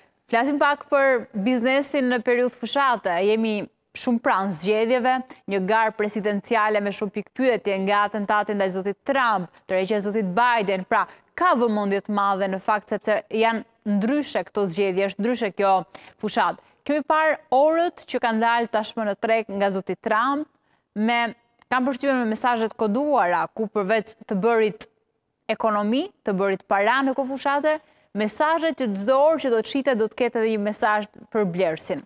Si është analizuar, si është lexuar kjo lloj fushate marketingu para periudhës zgjedhore atje? Kjo është pothuajse e ngjashme si, si kudo, përfshi mesazhet telefonike, telefonin tim kanë ardhur mesazhe nga, nga dy palët, telefonat e të gjithëve, pra jo vetëm telefonin tim, përfshi kapele që që që shiten bluza me flamuj apo orët siç është rasti i fundit dhe pa dyshim që këtu biznesi ka ka një pjesë edhe mirëpo vetë ndjesia e kandidatit Trump si biznesmen mundet që t'i japë atij disi më shumë përparësi se të tjerët, ta njohë biznesin mirë dhe ku duhet të ecë. Ka pasur edhe disa fotografi të kandidatit Trump me fëmijë të vegjël, pra një afrimitet i ndryshëm nga kategorizimi i natyrës së tij, pra që mbahet disi më, më i rëndë, disi me mendjemadhësi, por që del shpesh fotografi i përulur me, me fmijt. Pra janë jo vetëm te çështjet e biznesit, se sa mund të përfitojë ai qoftë edhe nga ndjesia që ka, por edhe për t'u treguar ndryshe te një kategori njerëzish që mund të ketë dyshime. Pra bëhet fjalë për figurën që, që përfaqëson ai. Megjithatë, kjo është kjo është në varësi të gjithë zhvillimeve të fushatës ku kandidati Trump pa dyshim e ka pasur shumë të nevojshme për shkak se gati dy vitet e fundit pra që kur ka filluar të të flasë për rikthimin në Shtëpinë e Bardhë, ai është gjendur në sulme apo dënime të ndryshme nga gjyqësori apo nga prokuroria që i ka refuzuar si të vërteta, pavarësisht se është dënuar disa prej tyre. Pra është një fushatë që edhe nëse i referohemi Google-it, pra motorit të kërkimit, vetë zoti Trump ka thënë që informacionet, pra edhe analizat kibernetike flasin që nëse kërkon për kandidatin Donald Trump, proporcionaliteti, pra mundësia për të ndjekur, për të parë, për të lexuar lajme me karakter negativ është më e madhe për zotin Trump, se sa ato me karakter pozitiv për zonjën Harris. Dhe pa dyshim që këtu mund të ketë një arsyetim, siç vetë Google-i tha, për shkak se ky është motor kërkimi dhe referohen mbi lajmet apo mbi publikimet, pra nuk është se ishte një anshmëri sikurse zoti Trump tha në rrjetin e tij shoqëror Truth Social. E qartë. Ndërkohë një detaj tjetër që vjen po me familjen e zotit Trump është se Komiteti i Financave në Senatin e Shteteve të Bashkuara ka nisur ditën e mërkurë një hetim ndaj zyrtarëve në Shqipëri, por edhe në Serbi për disa investime të kompanisë Affinity Partner të dhëndrit të zotit Trump Kushner që do të bëjë investime të mëdha, strategjike, luksoze në zonën e Sazanit dhe Zvërnecit, por edhe në Serbi. Pse pikërisht në këtë moment vjen ky hetim i Senatit Amerikan për këtë familjar të afërm pra të Zotit Trump që do të bëjë investime në këto dy pika?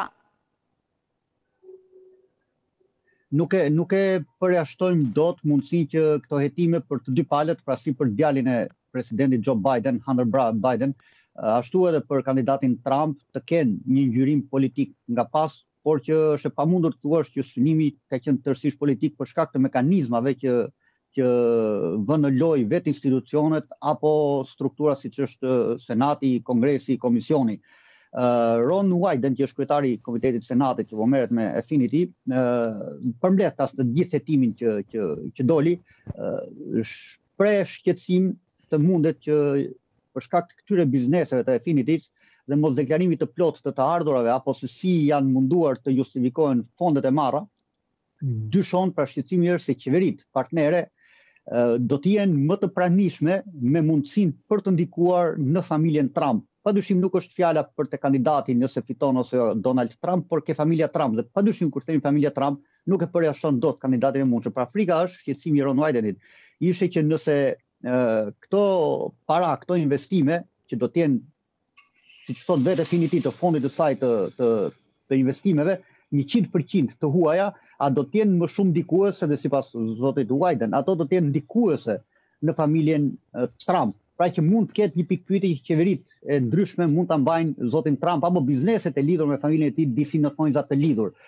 Ndërsa për në Serbi është veçuar është komentuar jo jo me jo me me ndonjë zë të mirë fakti që në një vend të bombarduar nga NATO do të ngrihet një një muze, pra me këto investime për të kujtuar viktimat e agresionit të NATO-s. Pra, fjala agresion të NATO-s kundër Jugosllavisë futet në në në këtë mospajtim. Ndërkohë që Affinity ka deklaruar rreth 157 miliardë dollarë, pra që janë bërë kërkimet se ku kanë shkuar, si janë mbledhur, sa ka fondi saudit rreth 28% apo 80 milionë bëhet me 80 miliardë dollarë, pra që bëhet fjalë se këto fonde a do të jenë të pavarura për të mos ndikuar dhe me sa duket kjo nuk është gjetur e tillë nga nga komiteti, nga komisioni i ngritur, përderisa vetë Ron Wyden i thotë që mund të jenë qeveritë e tjera, pra investuesit e tjerë që të ushtrojnë ndikim te familja Trump gjithmonë nëpërmjet biznesit. Dejon, shumë kënaqësi që të pata. Faleminderit, punë të mbarë. Ndërkohë do të shkëputemi për pak momente në reklamë. Në ditën ndërkombëtare të ndërgjegjësimit për mungesën dhe shpërdorimin e ushqimit, OKB bën thirrje për të ndaluar keqpërdorimin ndaj tij. Në Ditën Ndërkombëtare të Ndërgjegjësimit për Mungesën dhe Shpërdorimin e Ushqimit, OKB bën thirrje për të parandaluar keqpërdorimin ndaj tij. Numri i njerëzve që vuajnë nga uria është shtuar që nga viti dy mijë e katërmbëdhjetë, por nga ana tjetër me tonelata ushqime hidhen në kosh apo shpërdorohen çdo ditë. Në nivel global, rreth trembëdhjetë pikë dy për qind e ushqimit të prodhuar humbet mes korrjes dhe shitjes me pakicë, ndërsa rreth nëntëmbëdhjetë për qind e prodhimit të përgjithshëm global të ushqimit Shpërdorohet në familje, në shërbimin ushqimor dhe në shitje me pakicë. Kjo ditë ndërkombëtare nxjerr në pah nevojën kritike për financim për reduktimin e humbjeve dhe shpërdorimit të ushqimit, për të kontribuar në arritjen e qëllimeve klimatike dhe avancimin e Axhendës dy mijë e tridhjetë OKB-së për zhvillim të qëndrueshëm. OKB kujton se shpërdorimi i ushqimit është i lidhur zinxhir me një sërë faktorësh, Asgjësimi i humbjes së ushqimit dhe mbetjeve në landfille çon në emetimin e gazrave serë, duke kontribuar në ndryshimet klimatike. Gjithashtu, keqpërdorimi i ushqimit ndikon negativisht në sigurinë ushqimore dhe kontribon në rritjen e kostos së ushqimit. Rreth tridhjetë e nëntë për qind e popullsisë së rritur në vendin tonë është konsumatore e duhanit. Ekspertët vërejnë se në dy dekadat e fundit, vendi ynë nuk ka bërë hapa pozitive për të reduktuar numrin e duhanpirësve. Rreth tridhjetë e nëntë për qind e popullsisë së rritur në Shqipëri është konsumatore e duhanit. Ekspertët vërejnë se në dy dekadat e fundit, vendi ynë nuk ka bërë hapa pozitivë për të reduktuar numrin e duhanpirësve nëpërmjet lënies së tij. Ne nuk kemi patur efekt në lënien e duhanit. Në Shqipëri, afro dhjetë mijë persona e lënë duhanin çdo vit, por Ka nga këta që kthehen përsëri, që kthehen në duanpirësa, që nuk e lënë. Një duanpirës duhet të kalojë deri në gjashtë deri në shtatë prova që të lëri duanin. Po mendoni një duanpirës mbi moshën pesëdhjetë vjeç, ne do t'i themi lër duanin? Pra duhet të kalojë në gjashtë shtatë prova për të lënë duanin, që edhe këto duan dy tre vite. Studimet e shumta faktojnë lidhjen mes duhanpirjes në kohë të gjatë dhe dëmeve në shëndet. Duanpirësit mbi moshën pesëdhjetë vjeç janë katër herë më shumë të riskuar nga infarkti i miokardit sesa nga sesa ata që nuk janë duanpirës, ose tre deri në pesë herë më shumë për sëmundjet pulmonare të obstruksionit të mushkërisë. Pra dhe në dhjetë të sëmurë me kancer të mushkërive nëntë janë duanpirës. Duke marrë parasysh këto fakte, eksperti pohon se tashmë mjekët dhe infermierët në sistemin parësor janë të trajnuar për të ofruar asistencë në lënien e duhanit. Çdo duhanpirës të gjejë këshilla dhe mbështetje pranë qendrave shëndetësore, pranë mjekut të familjes, janë të aftë, sepse janë trajnuar në vazhdimësi për të dhënë këtë ndihmesë. Shuperka sjell si eksperiencë pozitive Britaninë, e cila ka ndihmuar duhanpirësit në kalimin e produkteve më pak të dëmshme, për një periudhë tranzitore deri në lënien e plotë të duhanit. Tashmë që krahu i punës po largohet dita ditës nga vëndi ynë, bizneset po i hedhin sytë nga të huajt. Në Pogradec, në një kantier ndërtimi, janë punësuar 21 shtetas indianë, të cilët tregojnë për Euronews Albania se në Shqipëri jetohet dhe punohet mirë. Mungesa e krahut të punës në vendin tonë si pasojë e emigrimit masiv ka bërë që kompanitë shqiptare të kërkojnë punëtorë botë. Vetëm në një kompani ndërtimi në Pogradec, e cila punon në aksin rrugor Qukës-Qafë Plloçë, disa shtetas indianë, mes tyre inxhinierë, manovratorë deri te punëtorë të thjeshtë janë punësuar prej kohësh. Dy prej tyre me profesion inxhinier tregojnë eksperiencën në Shqipëri. Erdha këtu për punë të provoja një eksperiencë të re. Ka një ndryshim të madh mes punës këtu dhe asaj në Indi. Kam dy muaj që punoj këtu, jam inxhinier. Njerëzit janë fantastikë, na ndihmojnë dhe janë shumë bashkëpunues në punë. Kam dëshirë të qëndroj gjatë, nëse kompania më lejon, mund të punoj tetë deri në dhjetë vjet këtu. Pagat janë shumë të mira. Kam pesë vite eksperiencë pune si inxhinier. Në Indi ne ndjekim të tjera standarde, por kjo lloj eksperience na shërben shumë. Punën e gjeta në internet, nuk kam ardhur vetëm për pagën, por për të punuar në një vend më të mirë dhe pse jo, të vendosem këtu përgjithmonë sepse na paguajnë mirë. Edhe shqiptarët shprehen të surprizuar me ta, me dëshirën e tyre për të punuar dhe faktin se janë tepër efektivë në punë. Janë shumë të mirë. Thonë që edhe shkollën atje të inxhinierisë e kanë shumë të përgatitur dhe këtu kanë dhënë rezultate dhe nga shikimet që kena pas ne me to, duket që këto janë të përkupum për mësu. Edhe për të dhënë atë ndihmesën e tyre dhe ato që di. Janë ma të qetë, ma të ndëgjushëm dhe janë të përkupum për punën. Kjo është qëllimi kryesor që e kanë ardh kanë ardh enkas për punë. Vetëm në këtë kantier punojnë njëzet e një indianë, të cilëve, krahas kontratave të punës, U është siguruar edhe akomodimi nga ana e kompanisë shqiptare. Panairi i produkteve bio është mbajtur në Prrenjas me një pjesëmarrje të shumtë ku po ashtu u prezantuan dhe punimet e dorës dhe kostumet e Rrajcës. Në Prrenjas është organizuar për të dytin vit radhazi Panairi Agroturistik Kulturor nga Toka në Tryezë. ku bënë bashkë blegtorë, fermerë e artizanë për të promovuar prodhimet e tyre bio, por edhe punimet e dorës ku kostumet e Rrajcës përbënin kryefjalën. Ne kemi produktin e mjaltit, propolisit dhe qumështin e bletës. Këtë lloj kullote e kemi në në malin e Dardhës, në Skënderbej lart dhe Katun Plak. Është një kullot që ka shumë llojshmëri lulesh.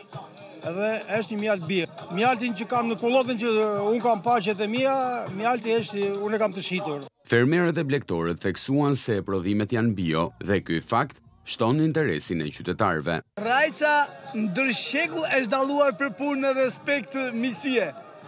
Ndër shekuj e kemi këtë vend të bekuar dhe neve do ta lëmë brezave të ardhshëm. Ekspozojmë rrobet e Rrajcës që janë punuar me duart e arta që të gjyshevet e stërgjyshevet edhe nuset tonat që po e trashëgojnë. Risia e këtij viti ishte pjesëmarrja e nxënësve me punime të ndryshme. Synimi është që ky panair të kthehet në traditë. Për sa i përket artit, neve kemi një brez që e vlerësojnë, e krijojnë dhe e duan artin. Pra, veprat e tyre flasin vetë. Kanë përdorur kolorit. Një ndër arsyet e këtij organizimi është edhe promovimi i vlerave dhe traditave kulturore të bashkisë Prrenjas, me potenciale dhe pasuri të shumta. Edhe shkrimet flasin ishte ekspozita që u hap të premten në Muzeun Historik në Fier.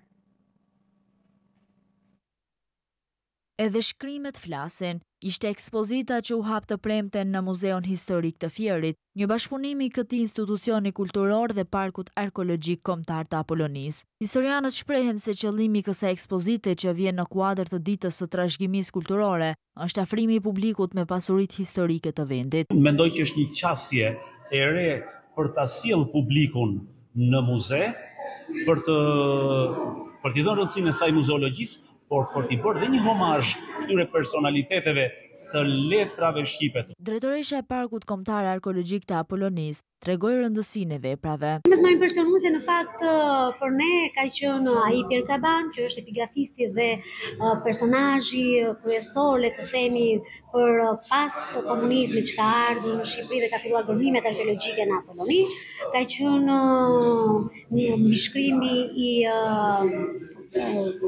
Dritëro Agollit, i cili ka shkruar edhe një poezi të vogël mbi mbi librin e përshtypjeve, njëkohësisht Visar Zhiti, ish ministri i kulturës, apo dhe Moikom Zeqo, një nga historianët tanë, i cili ka kontribuar në trashëgiminë kulturore. Të ruajtura dhe të arkivuara me kujdes që prej viteve shtatëdhjetë të shekullit të kaluar, Në ekspozitë u shfaqën disa nga shënimet autentike të lëna prej disa nga emrave më të spikatur të kulturës shqiptare dhe më gjerë. Midis tyre bien në sy emrat e Dritëro Agollit, Fatos Arapit, Moikom Zeqos dhe Visar Zhitit. Një tjetër risi në këtë aktivitet ishte edhe mini-ekspozita kushtuar njëqind vjetorit të gërmimeve arkeologjike në Apoloni.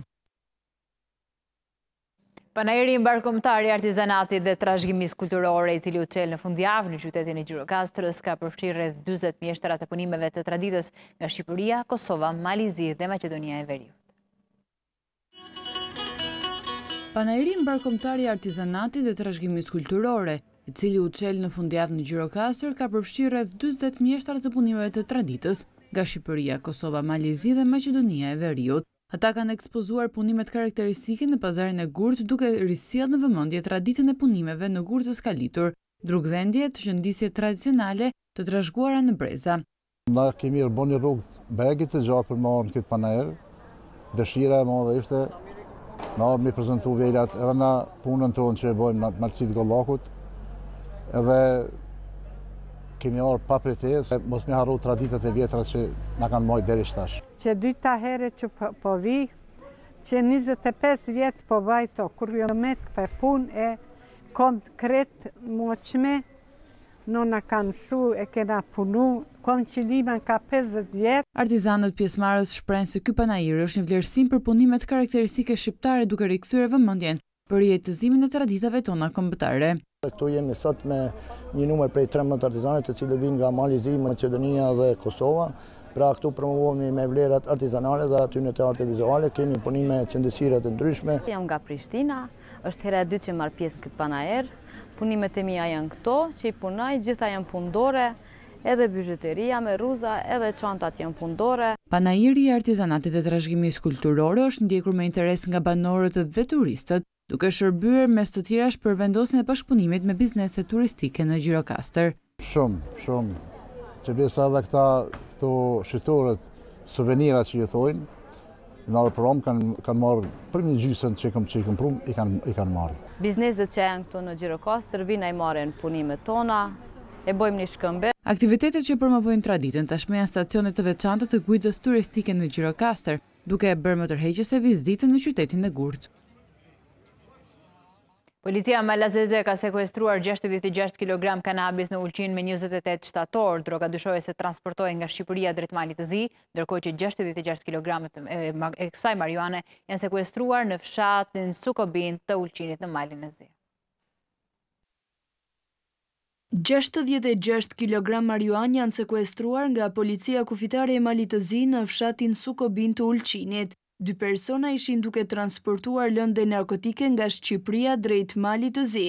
Sapo kanë vënë re shërbimet e policisë, kanë braktisur çantat e mbushura me marijuanë. Dy personat, ende të paidentifikuar, kanë arritur t'i shpëtojnë policisë, duke u rikthyer në territorin shqiptar, pas informacionit se në këtë fshat të Ulqinit në afërsi të kufirit po trafikohej drogë, menjëherë uniformat blu kanë ndërhyrë. Gjatë kontrollit të ushtruar në zonë, shërbimet e policisë kanë gjetur tre çanta me njëqind e nëntëmbëdhjetë pako me marijuanë me peshë rreth gjashtëdhjetë e gjashtë kilogramë. Autoritetet policore të Shqipërisë janë në kërkim të dy trafikantëve të cilët arritën të arratiseshin. Kalojmë në zhvillime të tjera, një shpërthim i fuqishëm ka ndodhur mbrëmë pas mesnate në një pikë karburanti në qendër të Zveçanit, por për fat të mirë, përveç dëmeve materiale, nuk ka të lënduar në njerëz. Një shpërthim i fuqishëm ka ndodhur mbrëmë pas mesnatës në qendër të Zveçanit, Por për fat të mirë përveç dëmeve materiale nuk ka të lënduar në njerëz. Bëhet fjalë për shpërthimin në pikën e karburantit Nis Petrol, të cilën tani e disponon kompania Lab Oil, ndërsa përveç kësaj pike, janë dëmtuar edhe disa lokale aty pranë.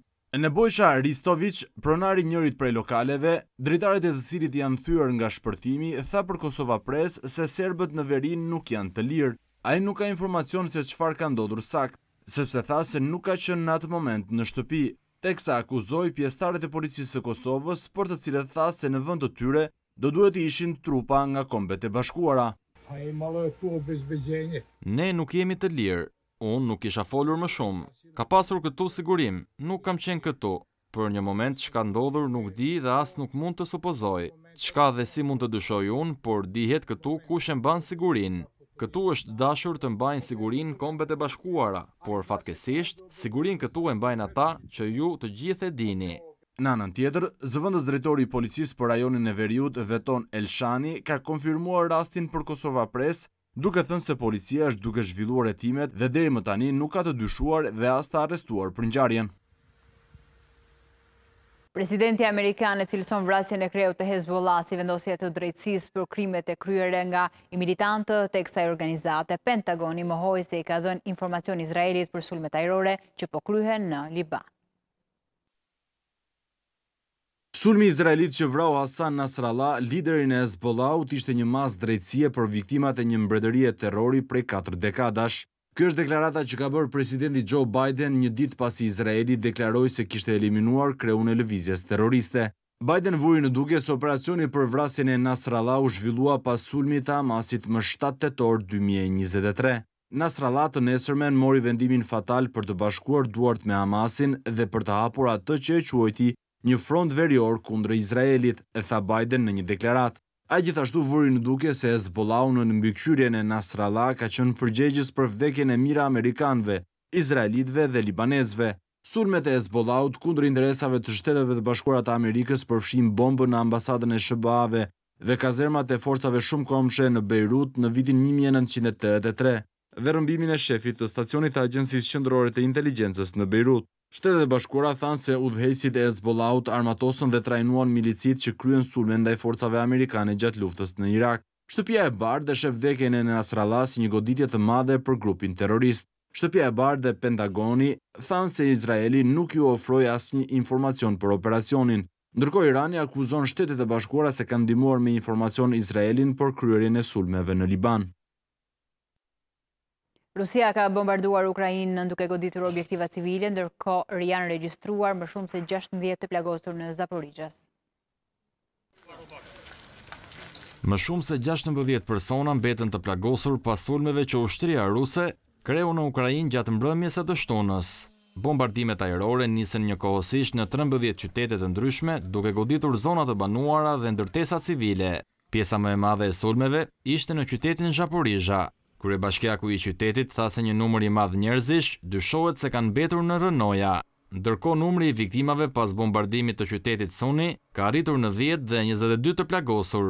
Ushtria ruse goditi me dy raketa spitalin ku merrnin ndihmën e parë qytetarët e plagosur. Nga ana tjetër, ushtria e Ukrainës ka vijuar sulmet me dronë.